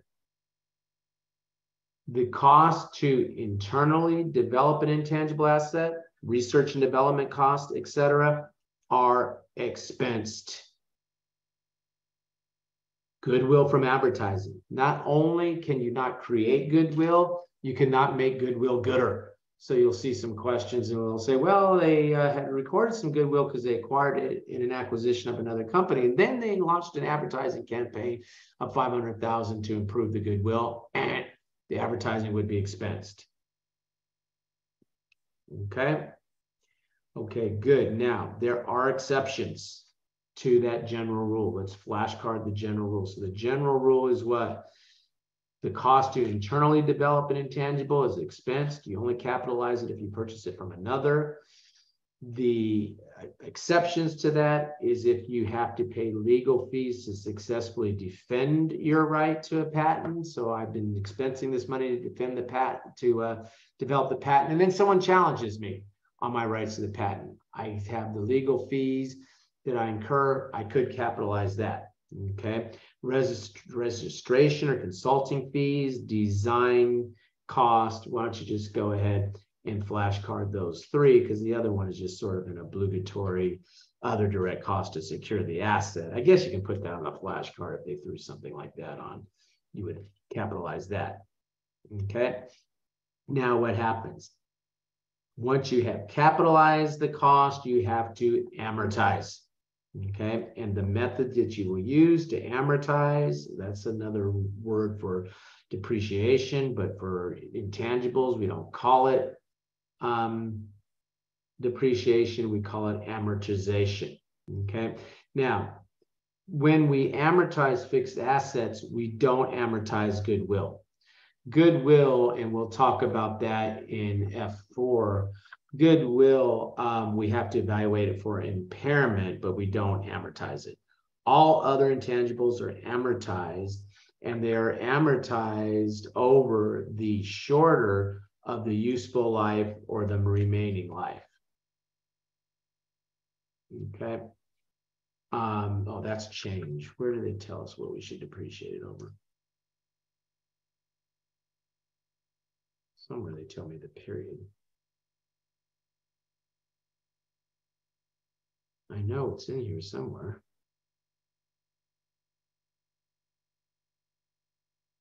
Anybody see it? Oh, here it is.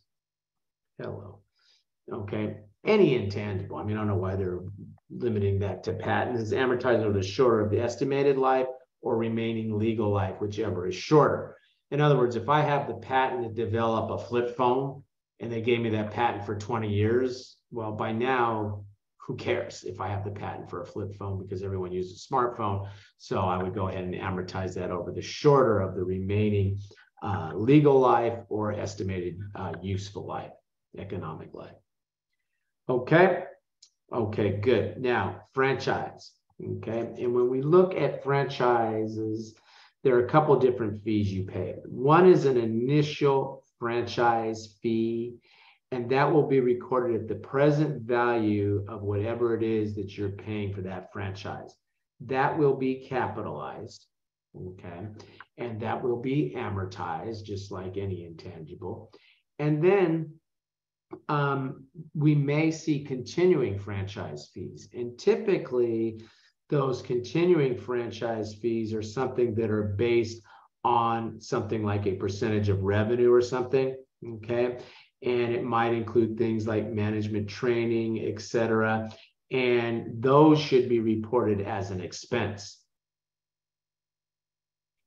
So flashcard that. Okay. For example, let's say I buy uh, Auntie Anne's uh, pretzel place and she charges me 50,000 just for the right to hang the sign out. That's an initial franchise fee that has future economic benefit. I'm going to capitalize that as an intangible asset. I'm going to depreciate it.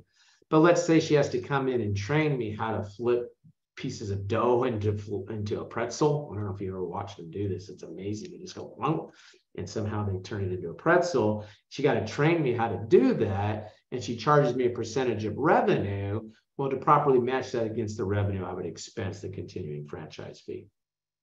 Okay, let's just look at this one because I think it's kind of helpful. Okay, uh, Peter signed an agreement on July 1st to operate a franchise. The initial franchise fee was 75,000 with a $25,000 down payment. And then they took um, 10,000, uh, five equal annual payments of 10,000 beginning July 1st, year two. Uh, the expected life of the asset is 10 years present value of the 10,000 is 37,908. And you may recognize that number, guys. We take the 10,000 and at 10% for five years, remember I told you last time the factor was 3.7908. And I gave you an example of how to deal with a note. Okay. So that's where they get that 37,908. Present value of the 25,000 is 25,000. Bottom line is what? the down payment is 25,000. You don't have to discount that. So bottom line, the franchise has a present value of 62,908. I report the note payable of 50. Remember on my balance sheet, the note payable would show up, and I think I showed it to you in the context of receivable before, but the note payable would be displayed. Then what? Discount 12,092. And remember, I told you the discount is the difference between what the net present value of the note, which we just calculated at 62,908 using that present value of the annuity factor. And that was 10%, even though the problem didn't tell me it was 10%. That's what it was. Okay, that's where that factor would have come from to turn that into the present value of 37,908. Okay, now we would calculate interest expense on this. Okay, so for that first year, we would take the sixty-two thousand, um, the, um, in this case, the, the discount would be, um, uh, what am I doing? The discount on the note payable is twelve thousand, so the net present value isn't, what am I doing? Is actually thirty-seven thousand nine oh eight. Is the net present value, and I would take that times the ten percent, and since this transaction happened. At the uh, beginning of the year, my interest expense, I'm calculating the interest expense now.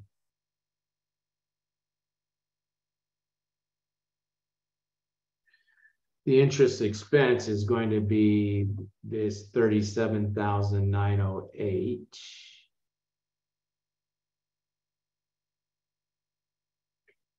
Times the ten percent.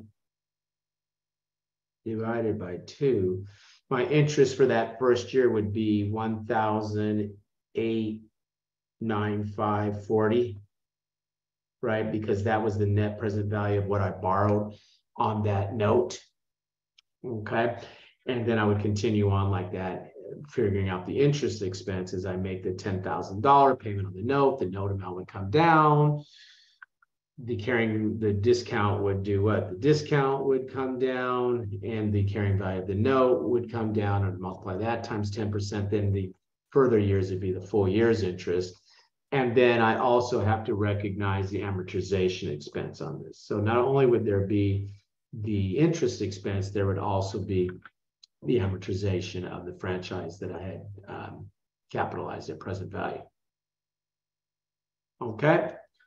Okay, good. So flashcard, you capitalize at present value, what you're paying for that franchise, you expense any continuing franchise fees, which um, I don't think this problem mentioned continuing franchise fees, did it? No, but if it did, that would not be part of that calculation. Those would be expensed, right? That would not be part of what you capitalize for that asset. They didn't mention continuing franchise fee, but if they did, you would not include that in that calculation. Okay, all right. Startup costs, very easy. Startup costs, guys, are expensed. Rule of conservatism, most businesses go what? Go belly up after, you know, a little while. And so FASB says, hey, we're not going to have you capitalizing a bunch of startup costs like, you know, um, legal fees, that sort of thing. Um, you know, we're going to have you expense those. That's the rule. Okay. Now, let's go ahead and look at research and development. And I've sort of already mentioned this. Research and development, they are expensed. That's the general rule. So you can put on the blank side of the flashcard, general rule, research and development are expensed unless you have one of the two exceptions. One exception is if we are going to continue to use something that we spent on an asset for our research and development or another alternative purpose beyond the life of the current period. So if we're going to continue to use that beyond the current period, then we capitalize. And if we're going to continue to use it for research and development in the future, then the depreciation on that would be part of my research and development expense, but you don't expense the entire amount. Now, if you're buying some facility and you're going to use it up during the current year, then of course you would expense that entire amount.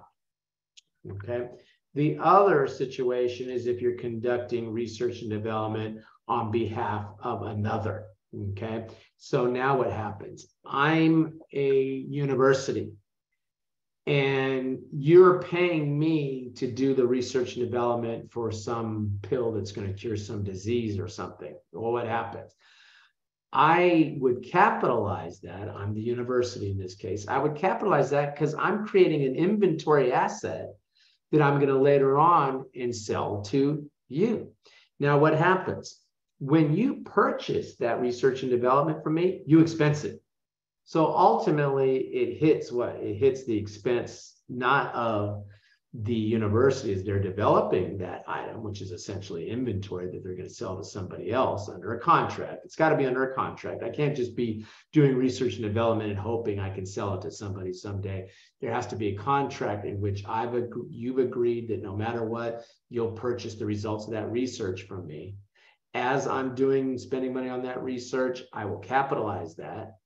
When I sell it to you, you expense it and then I would treat it as what? As essentially a cost of goods sold um, as I um, sell that item. So I'd have credit to sales for whatever I sold it to you for, and I'd have to debit the cost of goods sold for any cost that I had um, accumulated uh, while I was uh, performing that R&D.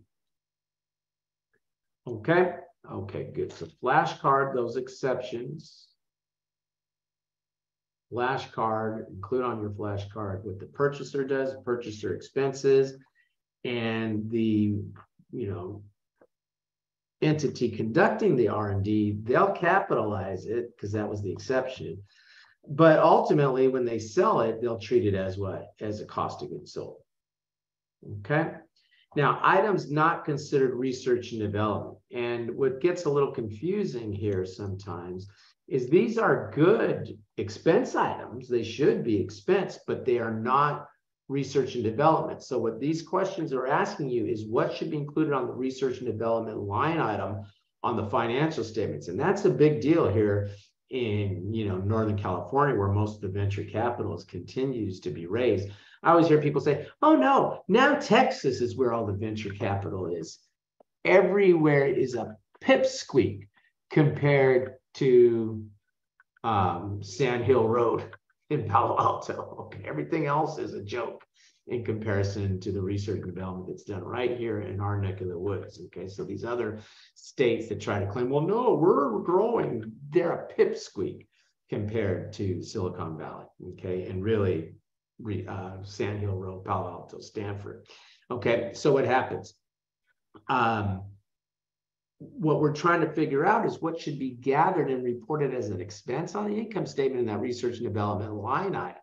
Some expenses that we incur that would still be reported on the income statement would probably be more of an administrative selling cost. For example, marketing research, quality control testing. I don't know what reformulation of a chemical compound is, but it certainly doesn't sound like research because it's reformulation of something. So flashcard those. Those are expenses. The question asks you, what are the expenses? You include those, but they are not part of the research and development line item on the financial statements. Okay. Okay, good. Now let's look at this example. Okay. And notice materials used in research and development. Yep, part of the research and development line item. Um, equipment that has alternative uses in the future um, and so the key word here is what? Future. If they're going to continue to use it past the current period, you don't take the whole amount, but you do take what? The depreciation. Personnel cost, yeah, got to take that. If you're spending personnel costs as an expense, if it's on research and development, yeah. Consulting fees, yeah. We're using for the research and development. It's part of the line item. Consulting fees for the research and development, yep. So the key takeaway, and you kind of went a long way to get there, is how to deal with that equipment that had the alternative life. You just take the depreciation on that. If they said that you're not going to use this anymore past the current period, then expense the whole amount. Okay.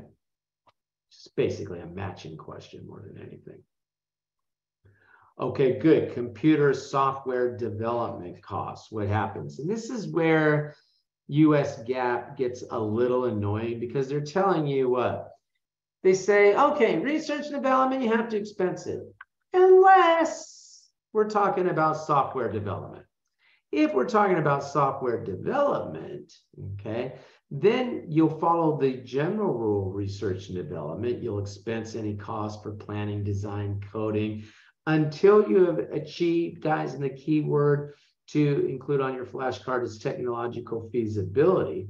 Okay, so up until technological feasibility expense, once you have reached technological feasibility, and they give us examples of what those are, I don't care about that because the key phrase you have to know is what? Technological feasibility. Once you have achieved technological feasibility, now you can capitalize cost after technological feasibility. So before expense, after capitalize. Now, what should you do with the amount that you capitalize? And you will amortize that over the greater, and it's whichever gives you the greater in any given year, uh, gives you the greater amount of amortization using one of these two methods, percentage of revenue or straight line.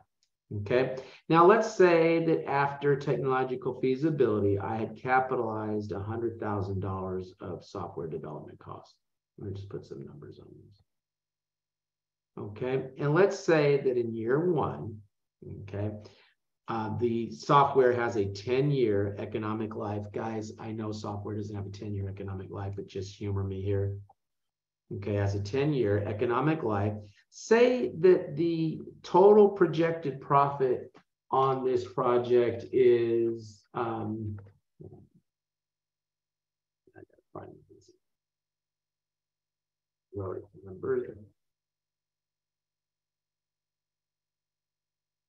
Okay, say the total is four million. Dollars, total revenue. And the first year I got a million dollars of that, of revenue. That comes out to 25%. What is greater, the straight line or the percent of revenue? Percent of revenue is greater. percent of revenue is greater. So in that year, I'll use percent of revenue. Good. Let's say in year two now.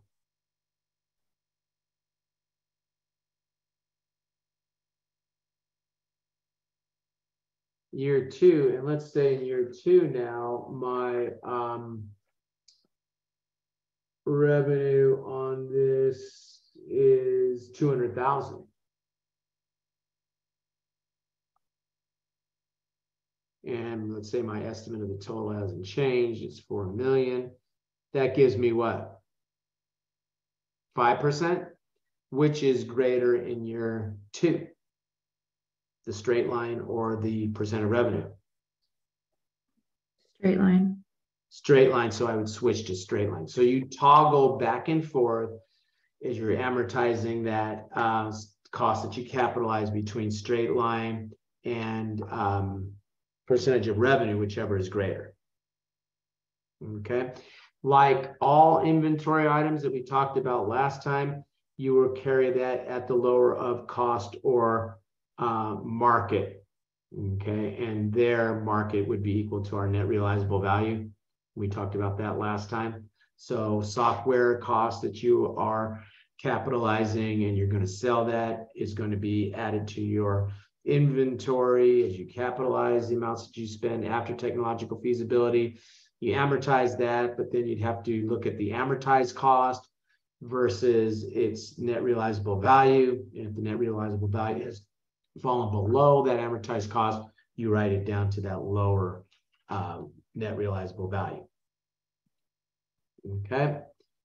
Okay, good. Now, if you are developing software for internal use only, okay, you will expense cost through the preliminary project state. Okay, so flashcard that. And then capitalize any cost after the preliminary project state. So in effect, we've done what? We have substituted the word technological feasibility for uh, preliminary project state. Okay. Now, we shall amortize any cost that we capitalize after the preliminary project state, and we will amortize that on a straight line basis. If we later turn around and sell that, and guys, they get a little wordy here. They say any amount we receive should first be applied to the unamortized carrying value of any amounts that were capitalized. Any difference would be recognized as a gain or loss or they say here would be recognized as revenue, but they probably should have said as a gain or loss. Okay. Um, well, that's the case of any asset. I mean, any asset, if we sell it for less than its carrying value, that's a loss. If we sell it for more than its carrying value, that's a gain.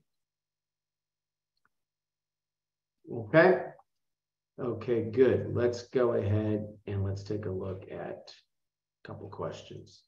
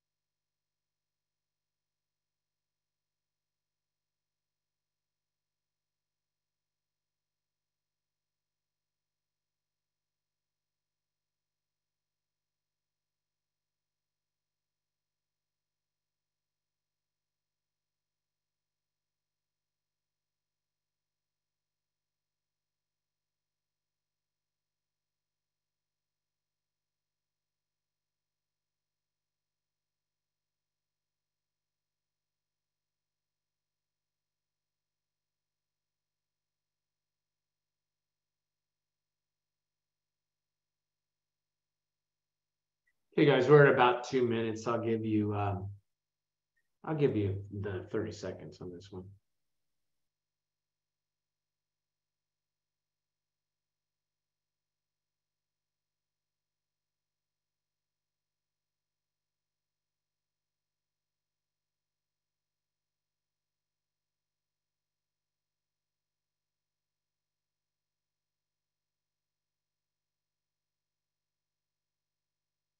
Okay, guys, uh, I'm gonna go ahead and um, end the poll on this and um, share the results. And uh, most of us got this right. This question has a couple of different layers to it, though. It's a good question because it really kind of tests all the rules that we talked about dealing with an intangible. Okay, so let's just look at this together, though. Um, they tell us that they were granted a patent and they properly capitalized 45,000 of related costs. Okay, you don't question the question. You say, hey, says it capitalized it. Okay, and it was appropriate. So I'm going to capitalize that 45,000. They amortize the patent over its estimated useful life of 15 years. So if I'm taking that 45,000 and I'm dividing it by 15 years, that means I'm going to amortize what 3,000 a year if I'm doing my math right. Okay. Now, um, during year four, we paid 15,000 in legal costs. Now that means that I must have amortized this what? All of year one, all of year two, all of year three. You count on your fingers for questions like this. That's three fingers. Okay. And um, so we take those three years times the 3,000 per year. That means that they would have up to year four amortized 9,000 off of that, right? So beginning in year four, we had 36,000 left. And then somebody came and challenged us and we were successfully defended the infringement lawsuit. Should we capitalize that? Was that one of the exceptions?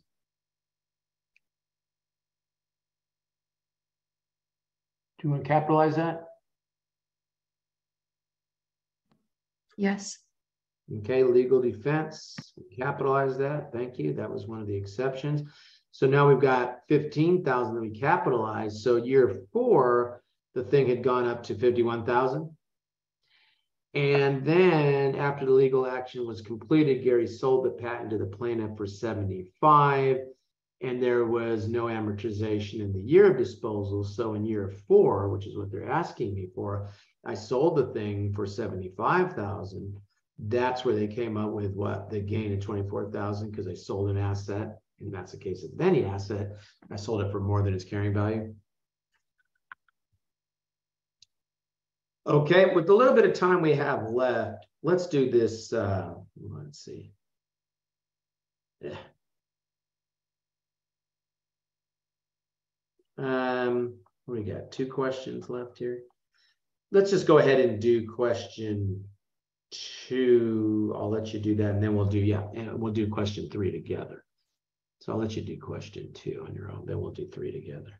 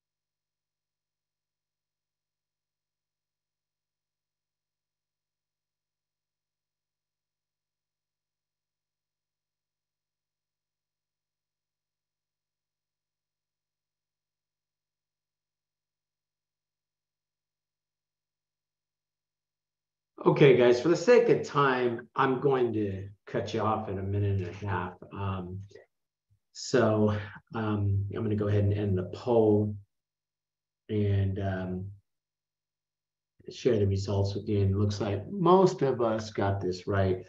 The answer is C. And the trick here was really um, to know not to uh, include the um, ongoing franchise fee as part of the cost of the franchise. So they capitalized this fifty thousand. Okay, and then they tell us an additional franchise fee of three percent. And they give us the revenue and whatnot. Well, that's all distractor. I'm underlying it. I should probably be sub- striking it out. That has nothing to do. That's all expensed the what the asset the franchise we would what amortize over the 10 years. So that would be what 5000 per year? And since they're asking us at the end of that first year we would have amortized 5000 so we would be showing what the 45000 those other choices i assume must have had you doing something with that. No we don't do anything with that. That's all, that has nothing to do with the carrying value of the asset. That is all expensed. Okay, good. As I said, we'll do this one together. And um, we take a look and they say that they want to know what should be included as research and development expense. Okay. Now, when you look at this equipment purchase for current and future years, I'm not going to take all of that because the word future is there. They tell me it has a five-year life though. So 100,000 divided by what? The five years means that I'll take, um, what does that come out to? 20,000 for that? Okay, so I dealt with that one because it's being used for current and future projects, so I don't want to take all of it. Equipment purchased for the current year only. Yeah, I know I gotta get that. That's two hundred thousand. How about salaries? Yeah, salaries are expense, and since they're for research and development, that would work. Legal fees to obtain a patent, is that research and development? No, that could be part of the amount that I'm out to capitalize for the patent, but it's not an expense of research and development. So then materials and labor for prototype products. Now, little test taking technique. Let's say I don't know what to do with that one. If I add the ones that I'm comfortable with here, I get a total of what, 620? Is 620 an answer? No. So the question kind of was expecting that I might not quite know what to do with prototype things. And but when I look at the choices, I'm like, well, hell, the only way I can get to any of the choices would be to include that. So even though they got a little wonky here on this prototype crap, like who knows, man? I'm not a research and development accountant. You know, uh, they should really be testing industry specific stuff that closely. But then I can't, they, they, they move into, well, they're going to test your intelligence by what? Making you sit there and see, well, the only way for things that I should know from my study of my flashcards is those things. And this other thing wasn't on my flashcard, but I can't include it. I can't get the answer unless I include it. And now that should be part of your flashcards as to something that's research and development, because now you got a question that you saw that that was the case. So you could add that to your flashcard as an example of something that's a research and development. And there may be other questions in your homework that you'll see that have that same kind of thing where you can add from understanding of the question of these more wonky things. Question. Okay, guys, we are already over the bonus time, so I am going to leave module eight for next time. We will get into chapter four, obviously, uh, next time. I know we're running behind. Uh, I'm just going to keep chasing that until we get to where we need to uh, make some alternative plans as to how we're going to get through the material. But right now, I just want to forge forward with uh, the way things are laid out for us. Okay, question. All right, guys, I will see you on next week. Have a good rest of the week. Make sure you're keeping up with these seven modules in chapter three. Thank you. Have a good Thank night. you. Good Bye. night. Thank Bye-bye. you. Bye.